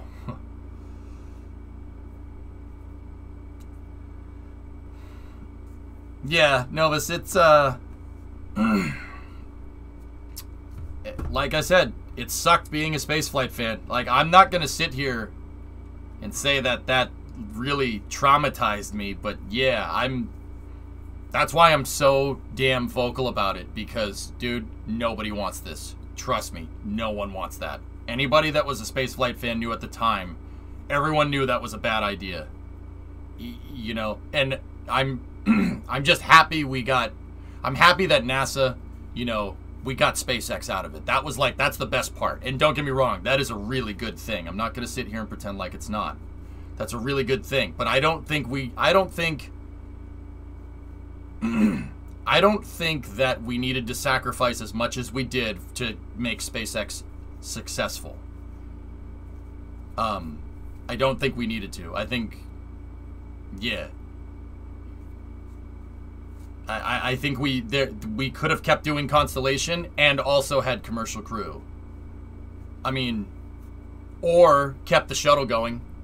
We could have done that too, uh, but no, because you know they they rolled back the shuttle, canceled Constellation, gave us Congress freaked out, and as a visceral reaction, they mandated it by law that SLS get made, and there was nothing NASA could do about it because once again, some folks at NASA went behind people's backs and canceled it. Like some dude, it's pretty nefarious stuff. Uh, and Congress freaked out. They're like, "The hell, you're canceling it? No, you're not. We're gonna make it law. We're gonna make it law that you're not canceling it." And that's what they did. And that's why we had a we, we ended up with a rocket that was engineered by Congress because there were folks at NASA 10 years ago that just wanted to pull the plug on the whole thing, and Congress freaked the frick out.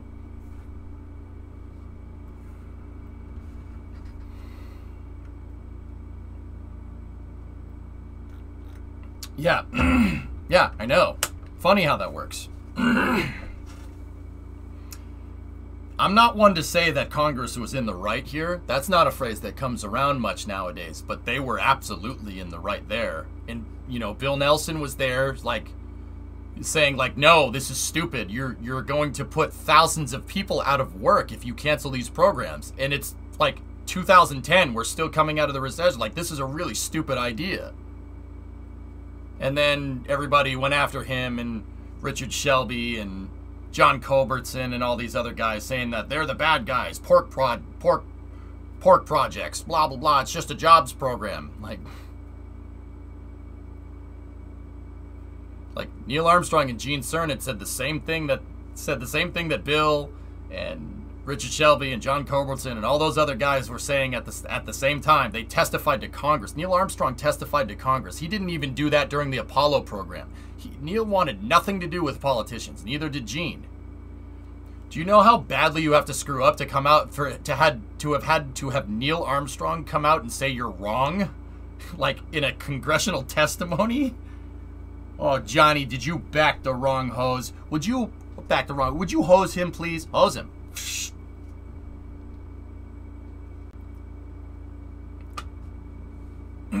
anyway, like those like and you know it's still funny. 10 years on 10 years on people are still saying the same thing. Sls is unsustainable. These guys are bad. All they want to do is protect the, their pork products. They want to represent their constituents. How dare they? Like oh my god. It's, it's a little ridiculous, right? Look, man, I could think I'm 130% right about something in spaceflight. If Neil Armstrong knocked on my door and he says, no, you're wrong, I'm listening. And Gene Cernan, the, literally the first and last guy to touch the freaking moon, saying you're wrong. Oh, uh-oh. it's almost like they had some say in developing useful spaceflight architecture. Hmm. Interesting. Yeah, Shaw, I know. I know. It's funny because people still people still you know get up certain you know congressmen's tails that want to keep NASA facilities open. They still get up to him. Certain people still write articles about him saying they're the bad guy. Like, huh. Okay. Uh, Return to Space, Grav Shark. Yeah. Watch the first 15 minutes of the Return to Space documentary. You want to get annoyed? That'll get you annoyed. You know what we should do? Revert Michoud to 2012. More NASA movie studios. Lavi, who in their right mind thought it was a good idea to convert a NASA facility into a goddamn movie studio? How could how could you be that out of touch? Oh my god. I'm sorry, it's it's hilarious, dude. But anyway. Wait, what? Guys, you want to see up? Look. I'm telling you.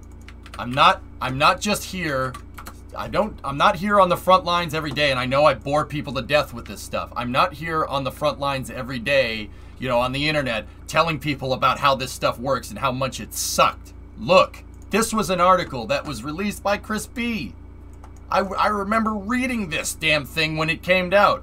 When it when it came out, look, that's the kind of headlines we got after the shuttle and Constellation got canceled. Oh, great.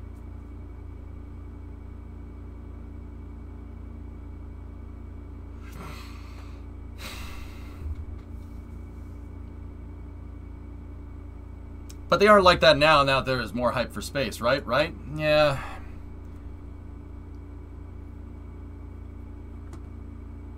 What's the issue with it? Just watch the first 15 minutes, Grav. I won't say, I'm not telling you what to think. You watch the first 15 minutes and you see if there's anything weird about it. Um, yeah. Yeah, they wanted to just film movies in Michoud. They want to make it into a movie studio.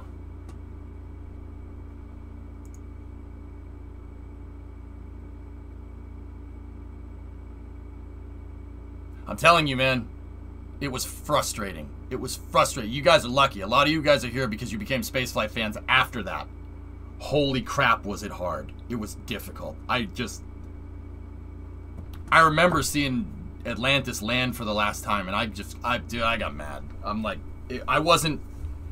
I wasn't, like, sad. I was pissed. Like, not even like, oh, oh my god, Atlantis, you know, that's the last flight. No, I was mad. I'm like, this is dumb. This is a stupid decision. We shouldn't do this. This is really, really dumb. We have no way to get back into space. This is stupid. Like,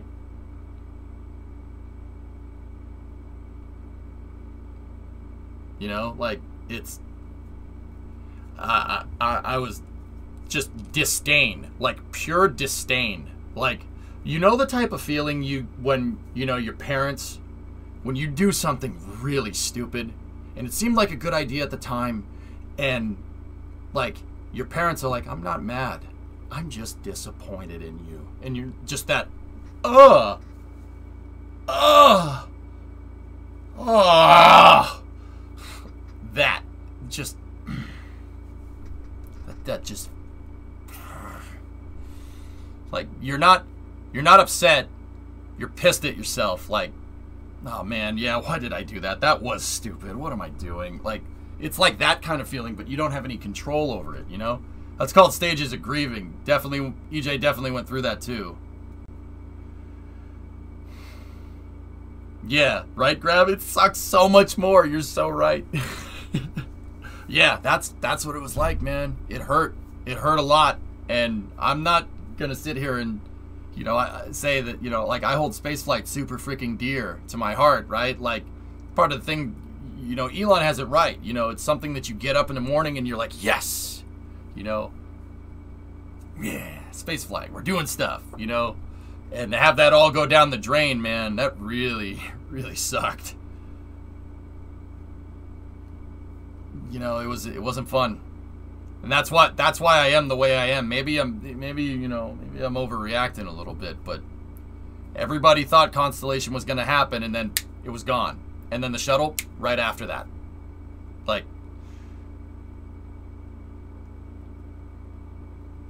I understand now why in 72 when the shuttle when they said no, we're not using Saturn V anymore, we're going to use the shuttle, why literally everyone at NASA said, "All right, I'm leaving. Bye." oh, nothing, victory. We're just we're just talking about when uh, the shuttle stopped flying. It, it hurt, man. It really hurt. It felt like the job was unfinished. You know. It's like it's like when you leave a job, right? You leave a job for a better job and well, not even for a better job. Like you, say like uh, you know, maybe you leave a job for like school or something. And you know, you're on your way out and you know that there's like stuff at that job that's not to get done. It's not to get done because you know, you're not to be there. You're to be doing something else. And you know that it's to suffer because you're not there. But then you remind yourself, like, you know, I'm leaving this job for a reason, right? But also, it's like, it just felt, it just feels unfinished. Hey, Nevia, what's going on?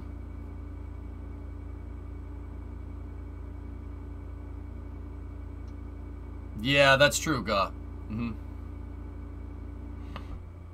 Yeah, Rocket Guy, there you go.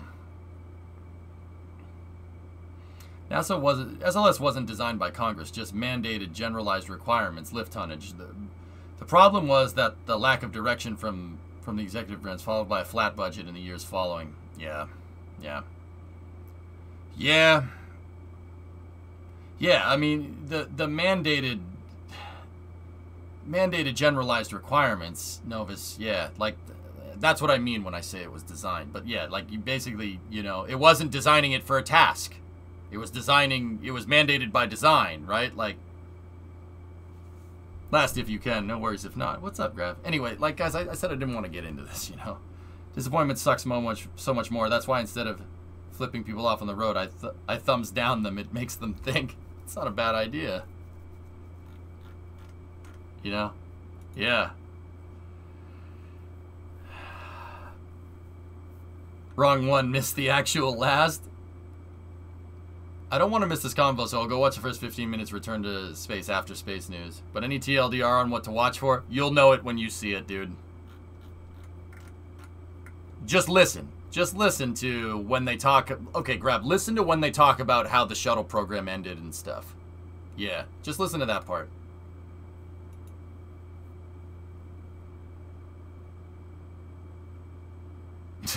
Caveman, yeah. Planning on seeing tomorrow's SpaceX launch at Vandenberg. Nice, Funky. There you go. If I will forever hold Bolden as the worst NASA administrator. Rocket guy, it wasn't him. It wasn't. It wasn't. It wasn't him. Dude, I'm telling you, it wasn't him. You gotta like, dude. I'll, I'll show you some stuff. It wasn't him. It wasn't Charlie.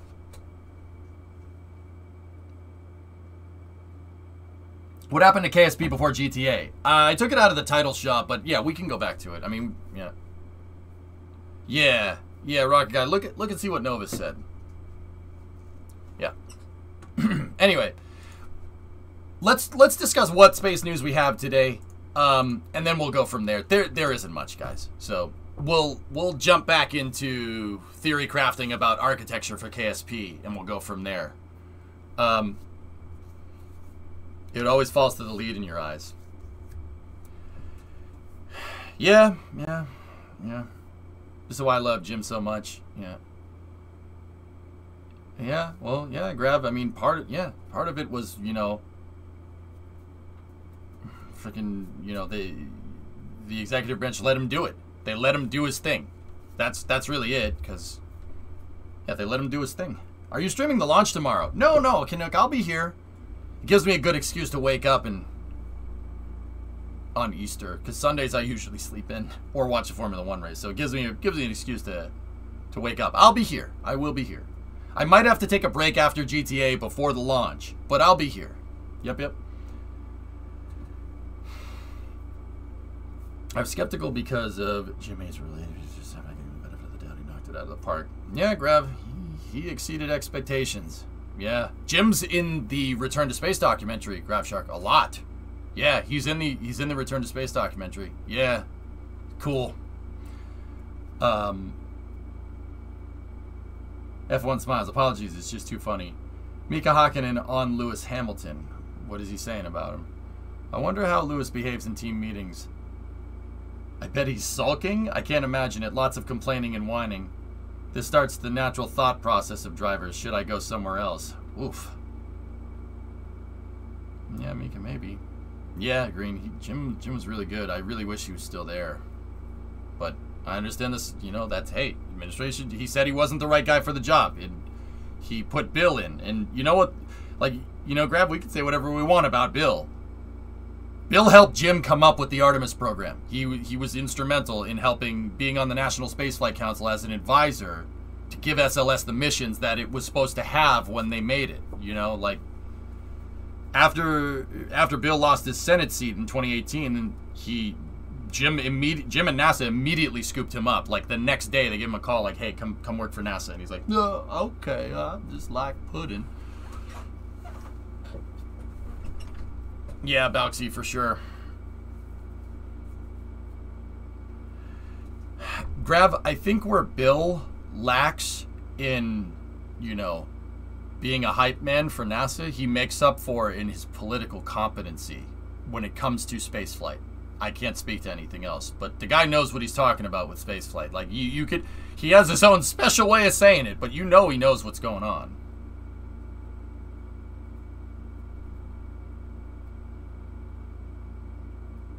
Yeah, but I think I think Bill has a lot more experience in politics than even Jim does. You know, Jim is good. He did good. You know, well, he. I mean, I'm not gonna say he did. You know, like good. Like oh, his. You know, his policies that he implemented were good. Blah blah blah. No, not anything like that. I mean, he he served he served his time in Congress, and you didn't ever hear about him. And I have a theory about politicians. My theory about politicians is if you they're they're they're like a background process on your computer. If a background process on your computer acts up, then you hear about it, right? But for the most part, it's a background process. You know, politicians that you hear about, right? You know, you hear for every politician you hear about, there's like a hundred of them that you don't hear about that are doing a good job because you never hear about them. You know, eh, that's just a personal theory. I, I don't know if that's true or not. Maybe. Just like IT. Bingo. It's like a referee at a sporting event, Pete. You know, like if the refs do a good job, the refs won't be the talk of the game. Right? If the refs are doing a great job and they made all the right fair calls, I know, imagine in this day and age, right? If they're doing their job correctly, you should never know their names. You shouldn't even know their names. They're just another, they're just the, the referee.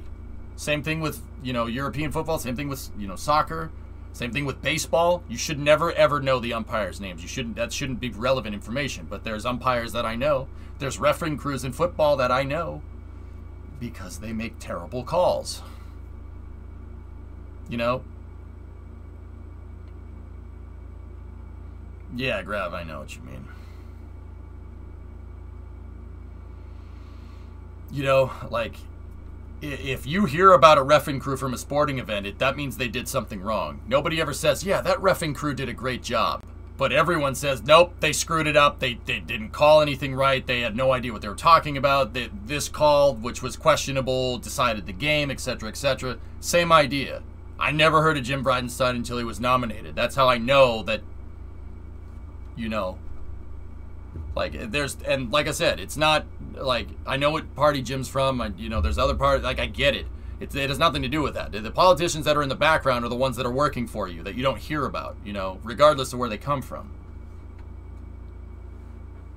Cough, cough, Joe West. Bingo. the NHL Player Safety Association would like a word. no, Mikey, no, no. It's so not right. But like once again, that's just a personal theory, guys. I know, I know. Uh, I'm I sent that one out, and people are gonna send it back saying like, no, that's that's fine. Like, I'm speaking. It's a personal anecdote. Like that's not anecdote. That's not the right way to say that. It's just kind of I don't know. That's how I see things. You know. Angel Hernandez, don't get me started. Winter Scythe, do not get me started.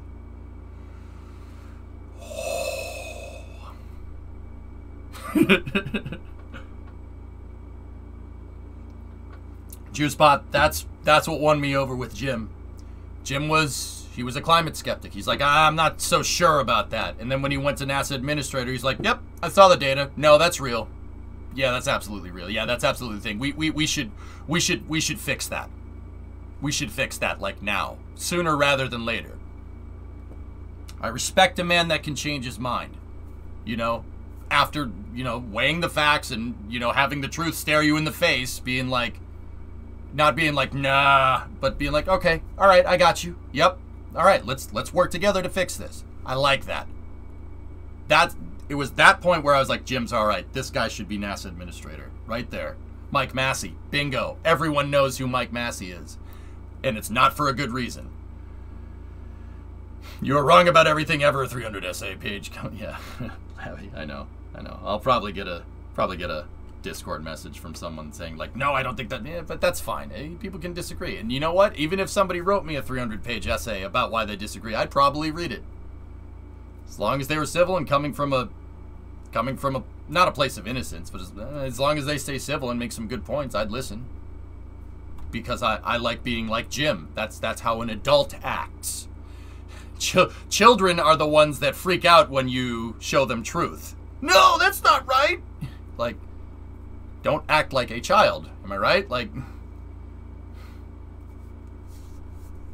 with that being said, you know, we talk about constellation, I get a little mad. Like, you know, something like that, Thomas. Yeah. Yeah, Angel Hernandez, Shaw. Oh, Angel Hernandez, Joe West, dude. I don't. I, I should never know these guys' names, but we know their names. Yeah. How about the bonehead that uh, in the um, in the Red Sox Astros ALCS last year? Here, hold on.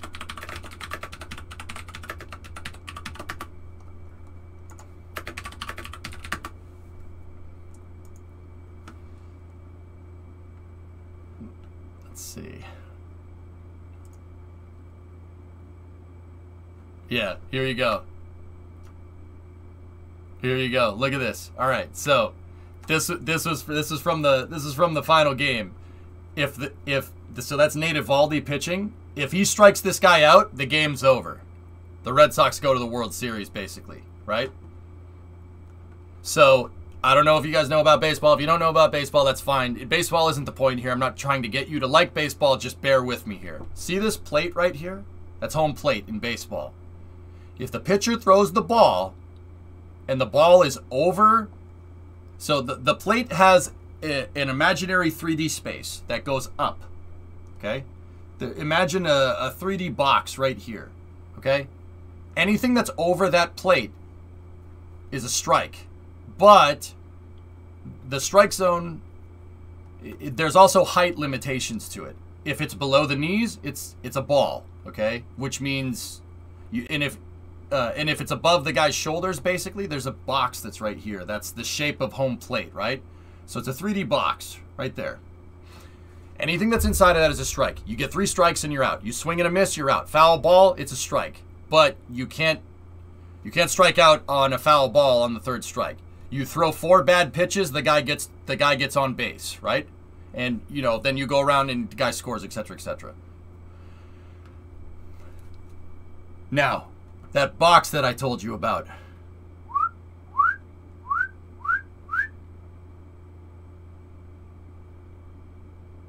That's in the box. They called that a ball. And the Red Sox lost because of it.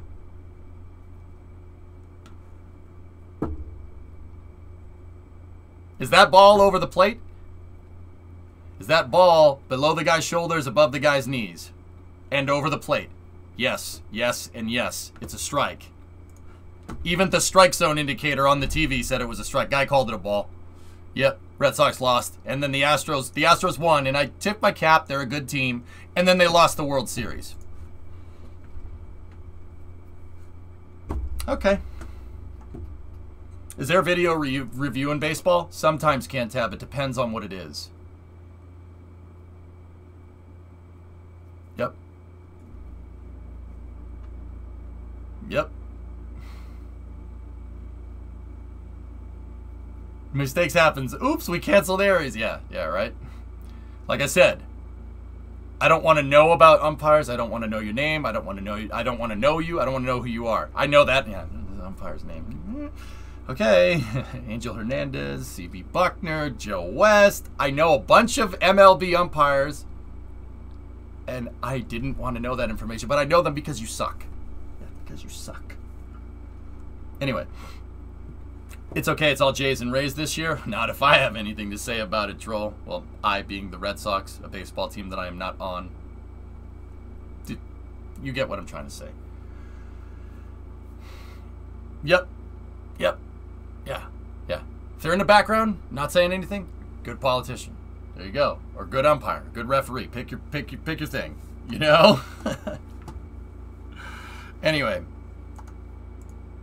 Let's jump into what else is going on with space news. So, the first thing is that Mike Baylor took this picture. He's setting up his remotes for NASA spaceflight. There, Falcon 9 is on the pad for the L85 mission, but it is it's going to go tomorrow at around 9 o'clock. So, that's uh, three hours before normal start time for me, for anybody. Anybody that's wondering when that launch is going to be. It was supposed to be Friday morning, then it scrubbed to this morning, and last night it scrubbed to Sunday uh, additional mission assurance or something. Uh, this is a reconnaissance office mission here. Um, yeah. It's a reconnaissance office mission. We don't know what it is. It, Thomas, you said it could be this type of satellite or whatever. But anyway.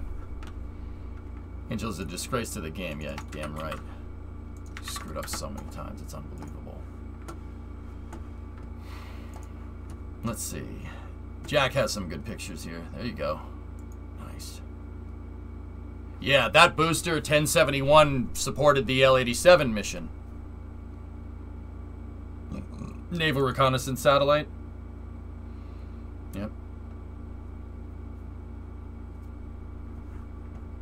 I wonder if it has involuntary submarine detection. Anyway. Um, football when you only kick once or twice uh, an imaginative and then an imaginative you're out box. Bon, you know what you know we call it football just to piss you off right? I understood that reference. Anyway what's the next bit of space news? Uh, so Vega uh, the ESA's Vega rocket they posted this. They're getting closer to the inaugural Vega C VV21 launch with Lares 2. Lares 2. Started the integration process at the P-120C solid rocket stage. So the P-120C right there is the first stage for the Vega rocket, for the Vega C, but it's also the the attachable booster for Ariane 6. So that's actually a pretty good mission. It's, it's pretty cool. Hopefully this thing performs really well. Do we have any cruisers in our Navy that can become submarines too? Or are we behind technologically?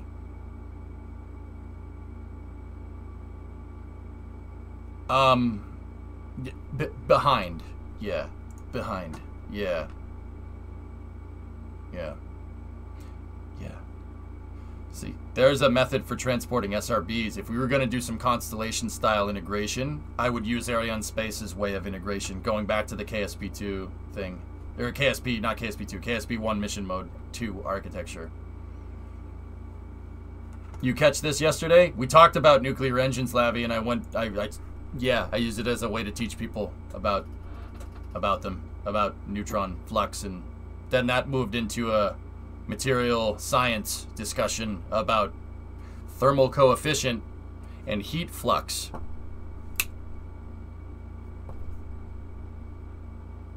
Novus, I remembered. I remembered. Yeah.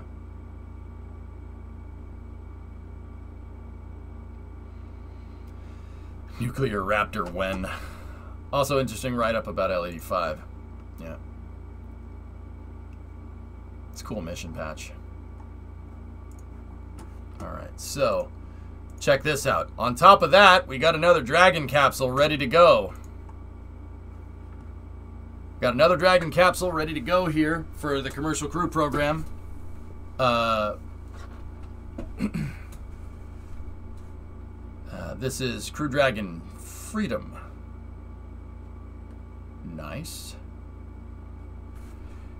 This is basically following the Axiom 1 mission, which launched Dragon Endeavor uh, up to the space station. Uh, and speaking of Axiom, Axiom will the Axiom 1 mission will be down next week. They're still up there. Everything's going good with that as far as I know. Literally back-to-back crew launches on 39A uh, with with uh, with Falcon 9s. That's that's pretty cool, man. Nice nice pick of C212 right there. Another one with the worm on the nacelles. Hell yeah. Hell yeah. Naked dragon. Yeah, well, no, no, no. She's covered up. She's covered up. Yep. There it is. It's got covers on the solar panels to prevent them from getting messed up. That's what all these that's what all this stuff is. I was on Playa Linda Beach, five miles away for the AX-1 launch. It was freaking awesome. Isn't it cool, Lloyd? Yeah. It's good stuff, man.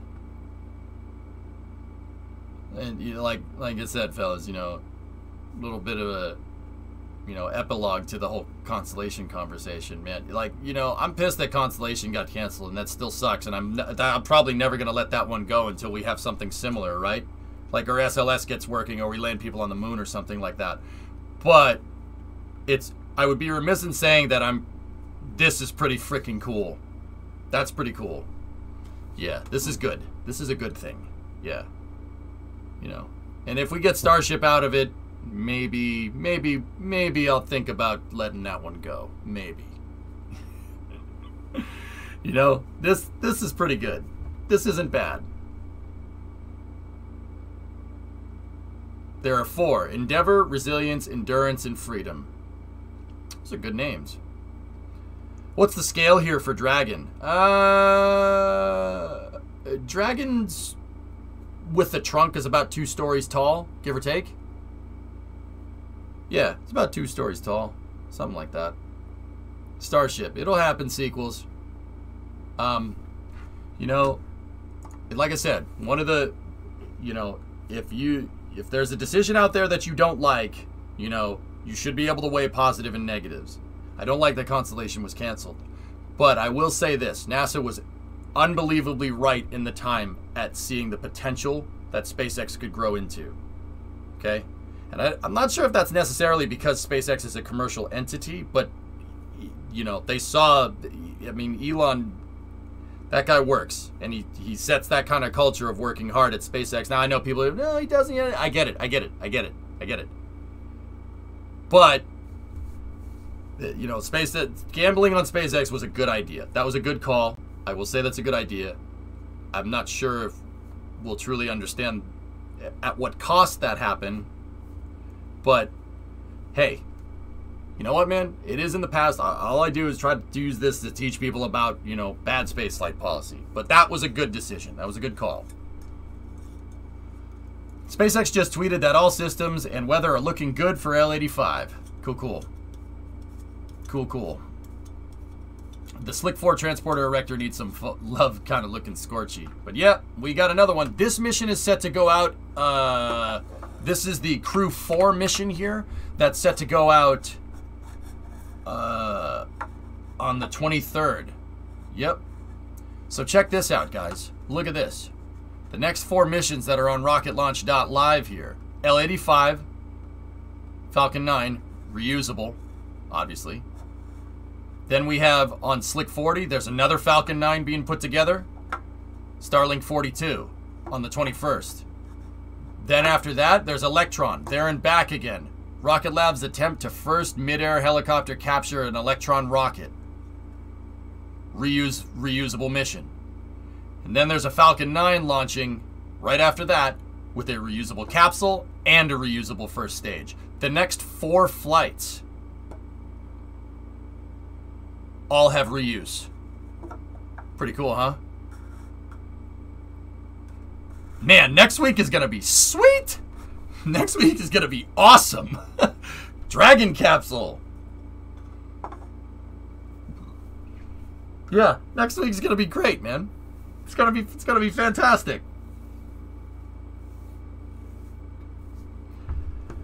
Starlink 414 is on 1060.12. Another one hitting the 12th flight mark. Yeah, B money, I don't care. Early times though. 11:15. Nah, during the day, mutter. That's right. Ideally, it would be nice if we like 5 p.m. launches, like right around when I do space news, are the best time because that's when everybody's home, you know. But these launches are fine. Uh, Electrons at 6:35. See, that's a that's a banger right there. That's perfect. And then Crew Four is at 5:20 frick a.m. That's not that's not so good, but orbital dynamics, pain in the butt. Any during the race? No, no. Crew Four is before Imola. Yeah. And then what's after that? We have a Long March, PSLV, Electron Capstone on the. Whoa, the Capstone mission is that close? So, Electron. It's TB, TBD, okay. So, this Electron mission right here that's happening two weeks out from now, the Capstone mission, that's gonna. Electron's gonna send a CubeSat to the moon, and it's going to pathfind Gateway's rectilinear halo orbit. They're basically going to put a locator probe out there, a little CubeSat, to figure out what's the best orbit that gateway should be in. Yeah, that's cool. Net May 3rd for, for Capstone. Yeah, that's really cool. Orbital dynamics must become illegal. Yeah, right. And then, oh yeah, a month from now. A month from now. Discovery, go at throttle up. You know what I just realized, guys? There is a potential here.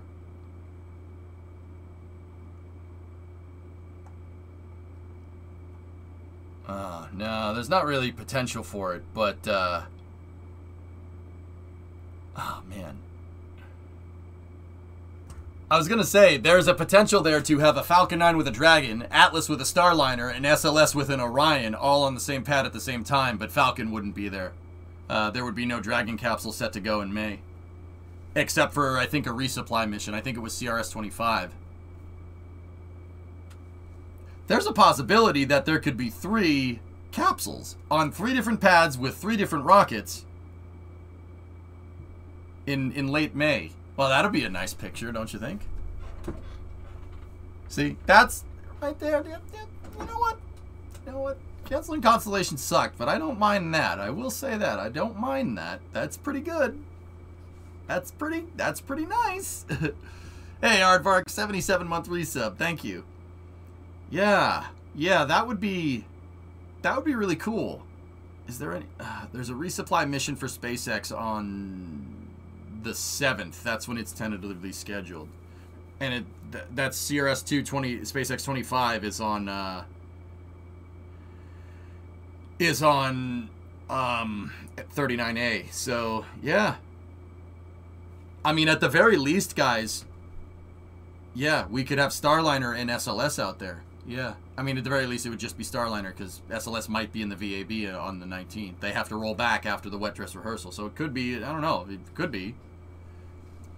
Well, because of the docking port limit, I don't think we'd see Dragon and Starliner up at the same time yet, but definitely by Artemis 2. Well, that, that would be pretty good. Every cloud has a silver lining. Yep. Yep. That's if SpaceX doesn't come out with their own moon lander. SD NASA is paying them to make a lander for them. So, they are coming out with their moon lander. And NASA NASA is paying them for it.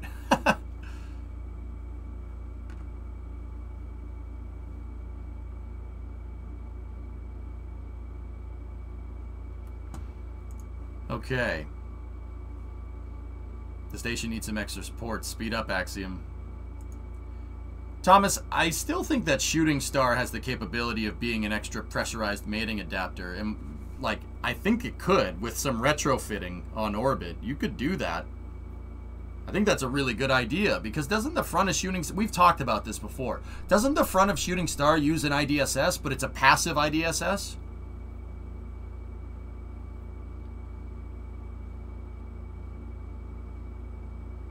What happened to PMA 3? PMA 3 right now has a Dragon capsule docked to it. PMA 2 also has a Dragon capsule docked to it. Pressurized mating adapter 1? T-Man, where do you think it is? This is this is, this is a trivia question. No Where's where's where's PMA one? Because there's three of them. Isn't Starship their lunar lander? It is, killer. Yep. Starship HLS. ISS is looking like an old computer with not enough USB ports. Yeah, right. Adapters on adapters, man.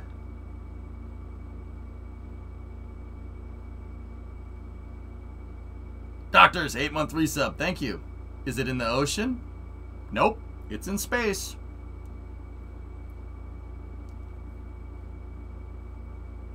Pressurized mating adapter 1.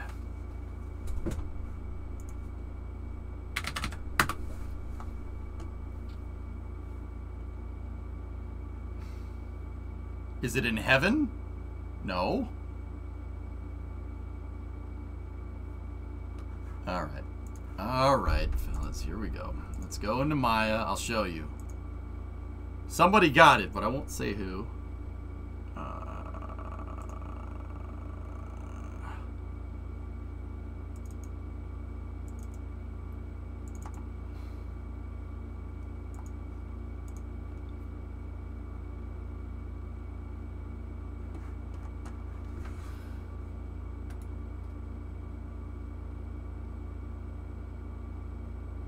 Jeez, Bon.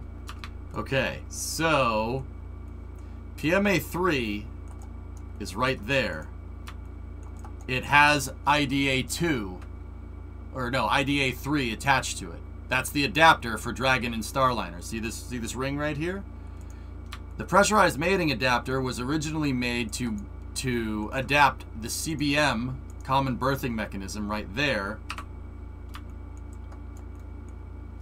CBM to APAS 95. APAS 95 was the shuttle's docking port. Right? Give it a second. So these pressurized mating adapters adapt space station module to space shuttle.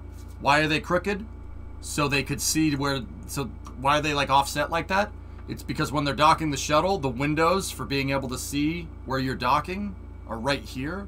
So you could look at what you're docking against. Yeah. Um, here, I'll show you. I know if someone's going to ask, why is that bent? Well, it's bent because when the shuttle docks to it, they need to be able to see the docking port, right? And there's two windows on the top of the shuttle that face this way, but there's also two windows that face into the payload bay. And the docking port for the shuttle is in the payload bay. So you have to be able to look down directly at the docking port. So those windows are pointing down like this, and the docking port is right here. So when you go to dock, they, they bent the port in so it went into the shuttle's payload bay so they could see the target and also be able to look down at the docking. Yep. That's why it's bent. There's another good picture. See? It's bent so they could see the dang thing. Yep. Hey, Blanning, what's up? Can't be in the ocean yet. So, there's the shuttle dock to PMA 2 right there. There's PMA 3. They moved it. It was over there. Um, yeah, see, it's attached right there. You can't see it. The solar panel's in the way. But nowadays, PMA 3 is up here. It's on the uh, the zenith of Node 2, which is Harmony, which is this module right here. The one in the center, not the one on the sides. That's the Columbus module. That's European Space Agency. This is Kibo. Kibo and the G, G, JEM, Japanese ex, uh, Japanese experiment module. And then Kibo is the storage module right there. PMA 2 is right here. I just showed you a picture of Atlantis docked to it. PMA 2 has IDA 2 on it. Where is IDA 1? Bottom of the ocean. Yep. CRS 7. Mission didn't make it. They had spares though. They had two spares. Right there and right there. So, where's PMA 1? There's, see, PMA 3. Pressurized mating adapter 2. PMA 1 is still on the ISS. But it's over here. PMA-1 is the adapter that adapts the international, the, the USOS and the Russian segment. It, it adapts the international modules to the Russian segment. See? See, there it is, right there. PMA-1. Yep. The reason why... The reason why is because Zarya, or the Functional Cargo Block, FGB for short, Functional Cargo Block, the Zarya module, which is the core module of the space station, right? Has an APAS 95 port at the front. Now I know what you're thinking. Well, why does why does the functional cargo block have a shuttle docking module on the front? Because I said that the PMAs adapt to the shuttle's docking port. Well,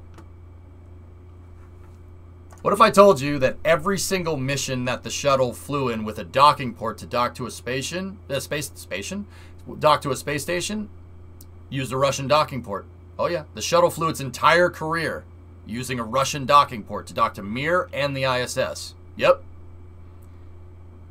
Yeah, I know. So, how did they get that design? What do you mean? How did they get that? Like, what? What do you?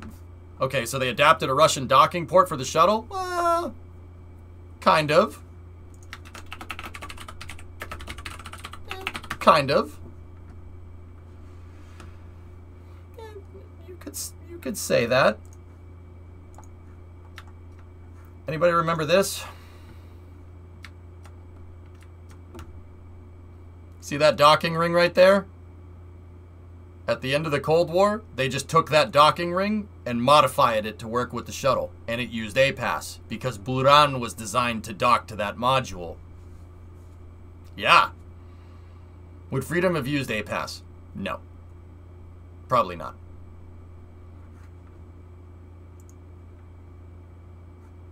And fun fact, Soyuz flew with it as well to Mir. Yep, yep. Yeah, see that? They took Buran's, not the exact thing, but they took the design for Buran's docking port. And because we were working with the Russians, and we needed to, we needed to put two, two of these ports together, it'd be easier to get the shuttle to fly with a port that was already designed to fly in a shuttle, not the shuttle, but it was a shuttle nonetheless. They took that design, modified it to work with an airlock, and made it a piece that could go inside of the shuttle's payload bay. That would make operations up at the space station easier for when for when NASA and the Russian space program at the time went to do STS-88, the first ISS assembly mission. Check it out. There's PMA-1 and PMA-2. The Russians put Zarya up there on a proton rocket. The shuttle went, found the dang thing, wrangled it with the robotic arm, right? And attached it to node 1. Think about how crazy of a freaking mission this actually is. Okay, so Kerbal players, all right? Think about this for a moment. The shuttle had to go up. It went up with this inside of the payload bay. So PMA 1, Node 1, Unity, and PMA 2, and then it had the docking adapter in it the Buran derived docking ring with the APAS port. It was an APAS 75 at the time for the technical people. The shuttle had to pull this out of its payload bay, install that onto the docking ring, and then fly around like this with the docking ring attached to it. It had to fly around to Zarya and then grab Zarya and attach that to these modules. It flew around with with a space with part of a space station docked to it in space. Think about how complicated of a mission that actually is. Anybody that plays Kerbal knows that doing something like that is bananas. They did it in real life. And we, we sit here and wonder why no one wants to get rid of the ISS. Well, that thing was hard to make, man. Yeah, the shuttle attached a space station to itself because Unity, the Unity module, and PMA 1 and PMA 2 they don't have any propulsion systems. Those are just space station modules. No RCS, no onboard guidance. Its guidance system is over here. It's attached to that thing.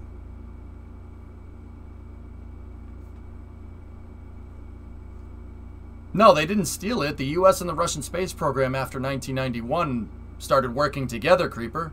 They still do, even now. 30 years later, we still work together.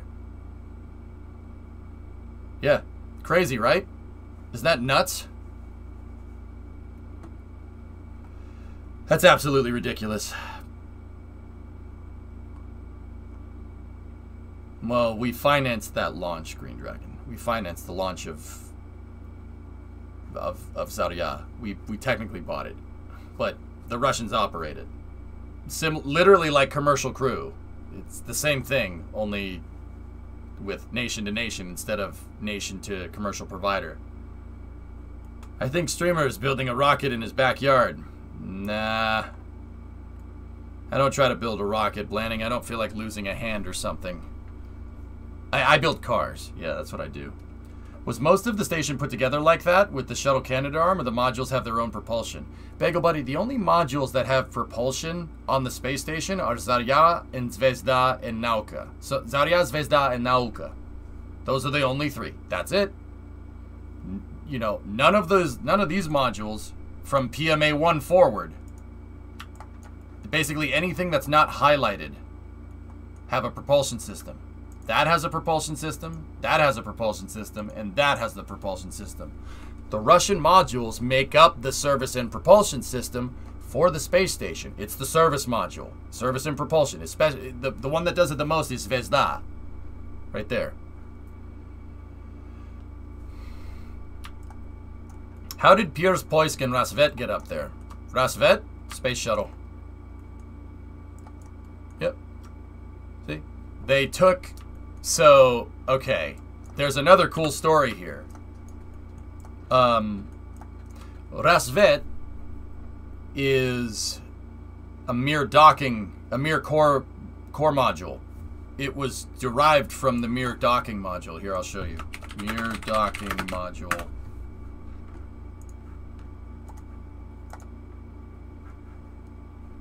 It was derived from the Mir docking module. Who really knows their history? What was the Mir docking module that derived from? Who really knows what they're talking about? Let's see. Zvezda is star and Zarya is dawn. Yep. Mm -hmm. Russians have cool names for their stuff. They do, they do. Their space stuff, yeah.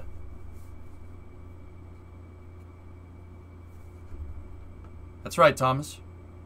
Yep. The Mir docking module is derived from Apollo Soyuz test project adapter. Crazy, right? Look at it. It's the same thing. Nuts, huh? I'd have to go find sources to prove it. If you don't believe me, that's fair. But it's derived from that. Oh, yeah. Oh, yeah. Thomas, you got it. Yeah, it's derived from the docking adapter. That already has a Russian docking port on one side. Granted, they don't really use that docking ring anymore, but that does look like the IDSS, huh? And APAS, for what it's worth. The Russians just took the Apollo side off and just put another one on to make the Mir docking module. And because they were working with the Americans again, it was a good design that everybody was familiar with. Smart, huh? It's pretty cool. So that's how Rassvet got up there. It got up there by the shuttle because the shuttle, they had experience in doing something like that. The reason why we put that up there is because they had it. They had one already. They made they made two for Mir, and this was the backup, and they put it on the ISS. Well, yeah, that's APAS 75. I know. Cool, huh? Yeah. That module can trace its routes right back to the Apollo program. Cool, huh? So, how did Pirs and Poisk get up there? Um...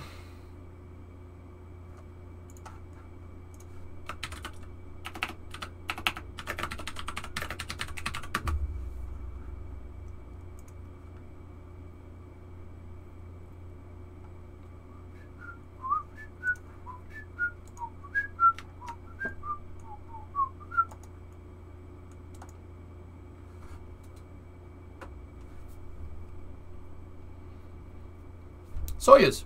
Actually, technically Progress. They just took they just took the crew module off and used the Soyuz service module. Yep. Straight up. It's just a Progress. It's a Progress capsule with no capsule and no orbital module. They just put the space station module there instead. smart. That's that's really smart engineering. I, I will say that's pretty damn smart. Yep. Yeah, they franced the Soyuz. They cut off its head. That's right. There it is. Yeah, that's right. Prichal is up there. I forgot about that. Prichal is up on the ISS. Man, I remember when that thing was in pieces on the ground. Huh. There's Rassvet right there. Yeah, they just and then to deorbit the old one, they just attached a progress to it and disconnected it because it uses a Soyuz docking port because it was launched on a well Soyuz derived launch vehicle, Progress, right? Pretty crazy. Yeah, it's a cool idea. So yeah, that's how those got up there. But Pirs, Poisk, Rassvet do not have propulsion systems. One, that was brought up by the shuttle, so it doesn't have any. These are just docking rings, and they're they're simultaneously a docking port and an airlock. That's what that side hatch is for. See that? And then Prichal is down here. So it has something kind of like, if I just duplicate this down there, kind of looks like that. Kind of. Not exactly, but yeah. None of these modules up here that were delivered by the Space Shuttle have propulsion systems. The Space Shuttle assembled it like STS-88. Uh, yeah, see? So there were. It was really cool when the guys like that's what I mean, dude. There's a reason why I like the shuttle so much. It's really good for do, doing stuff like this. You wouldn't be able to do this so much with like commercial crew or anything, but so the shuttle would go up there, right? It would have the module in its payload bay, and at first, what they would do is they would take the shuttle, and the shuttle would use its uh, uh, the S, uh, the shuttle manipulation system. So Canadarm one one Canadarm one is the one that's on the shuttle. They would use Canadarm one to just install components, and then during one of these missions, they brought up Canadarm two, which is the SSRMS, Space Station Remote Manipulator. That's still up there. Yeah, it's still up there, and it they use it as a construction crane to fix the space station, and and they use it to catch payloads like Cygnus. Uh, it'll be used to wrangle Dream Chaser. They used it to catch Dragon back in the day. Um, Dragon 1, not Dragon 2. Dragon 2 autonomously docks now, commercial and cargo. Um, and when they when they got the second RMS up there, uh, what they like, what they could do is they could use the space shuttle's arm, grab the module, pull it out, extend it, and Space Station 2 arm would could grab it and then install it. It's pretty cool, huh? Another thing that a lot of people don't know is that Canadarms can monkey bar around, where the space station RS, the space, the, the space station R, RMS can monkey bar around, meaning that it has the same docking port front and back. And anytime you see the dinner plate with the three teardrops on it, that's a grapple point for the arm. They can plug the arm in here, and the arm will grapple to it, and it'll plug itself in for power. So when I say it'll monkey bar around, it can grab one thing. Think about like a climber going up a mountain. You grab one thing, you hold on to it, and then you use your other arm to grab another thing. Then you let that one go, and then you grab another thing. You can monkey bar around with the RMS. So they can they can literally put this arm anywhere on the space station that has a grapple point, and they'll be able to control it all from one from one. Uh, actually, there's multiple vantage points. There's three points on this, or no, two points on the ISS where they can control the arm from. One of them is the one that makes the most sense, the cupola module. You can control the RMS from there. And then there's a remote manipulator station on the Destiny module right there. The, the US laboratory has a has an RMS station where you can use the arm remotely from there. Or you can look out the window and use it. Once again, any one of these grapple fixtures right here. That's the bullseye for for them to line up to make sure that the arm is aligned and then they then the teardrops are how it kind of locks itself in and then there's an auxiliary plug somewhere that will plug itself in and they could power the arm. Now want me to really blow your mind? You want you want to know how complicated this is? For the people that don't know look at this thing up here. See that thing? It has a bunch of grapple points on it and then it has an extra fixture right there See that? It has an extra, you know, Canadarm remote manipulator um, grapple hook. See this thing? Guys remember the monorail thing from The Simpsons? What if I told you the ISS has a train built into it? Because it does.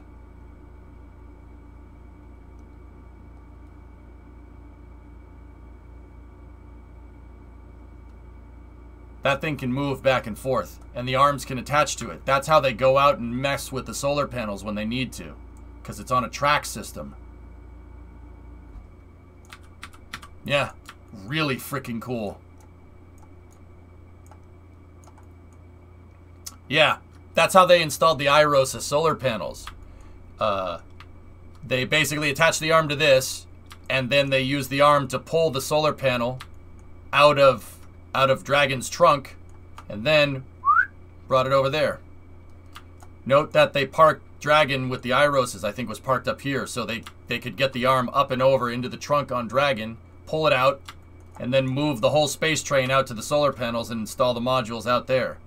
Also, if we were talking about the Return to Space documentary, they talked about Chris Cassidy and Bob Behnken swapping out batteries on the ISS. Well, there's your batteries right there. See them?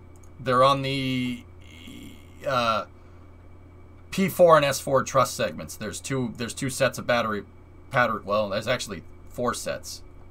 Each solar panel array has its own set of batteries. So there's um,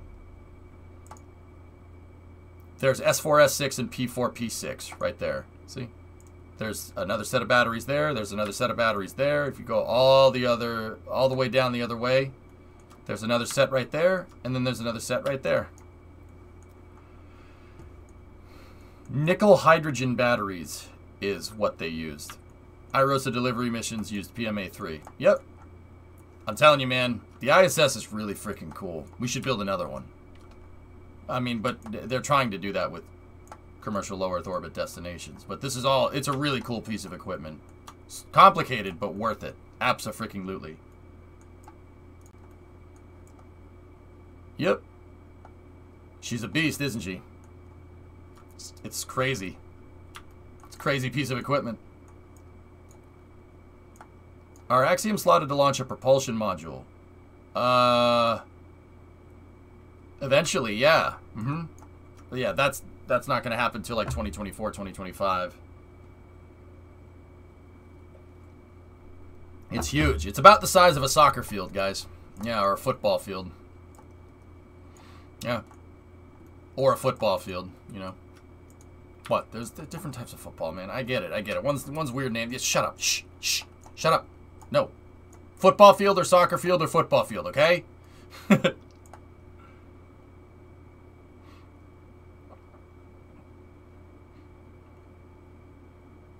Yep, she's big. Blood.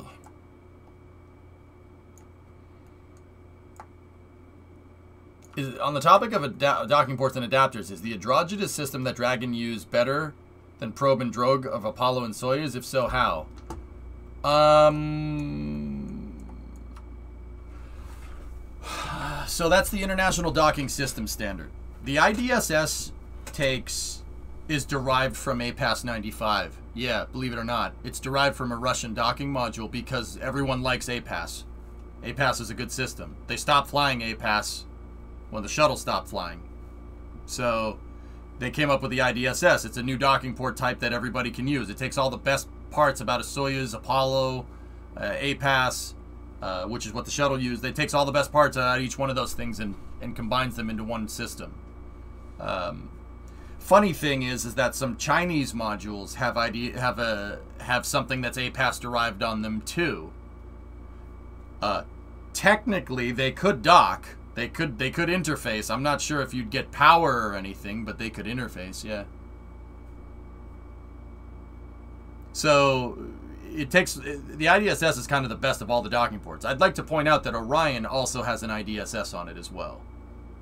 Starliner, Dragon, Orion all have the same forward docking port. Yeah, Orion could technically still go to the ISS. It could, it could, you could do it.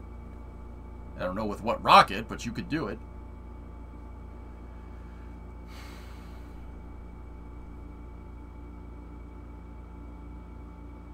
Yeah, cool little bit of history about the ISS. It's pretty neat, huh?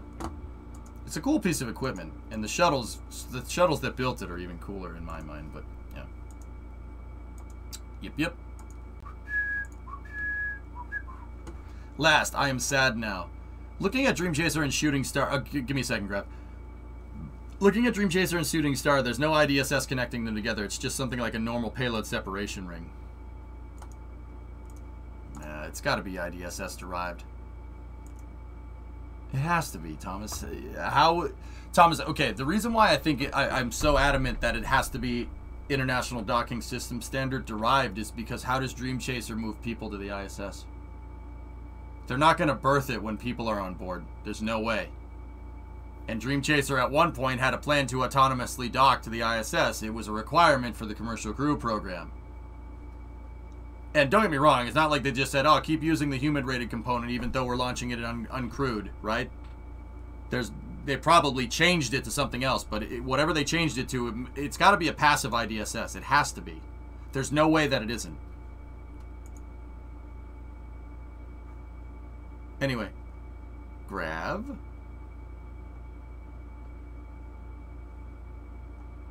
Last, just watch the beginning. I has a sad now.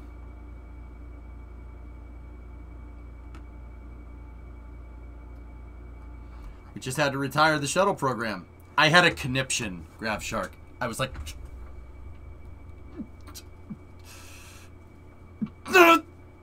Ow! Help! Make it stop! Discovery, go and throttle up. Yeah, no, it it's annoying. Yeah, it's annoying. it's like that scene in The Fifth Element. I am disappointed. And if it's one thing I do not like to be, it is to be disappointed. Sorry, sir. This'll never happen again. I know. Bye, Ted. Barkwell, 65 month resub. Thank you very much.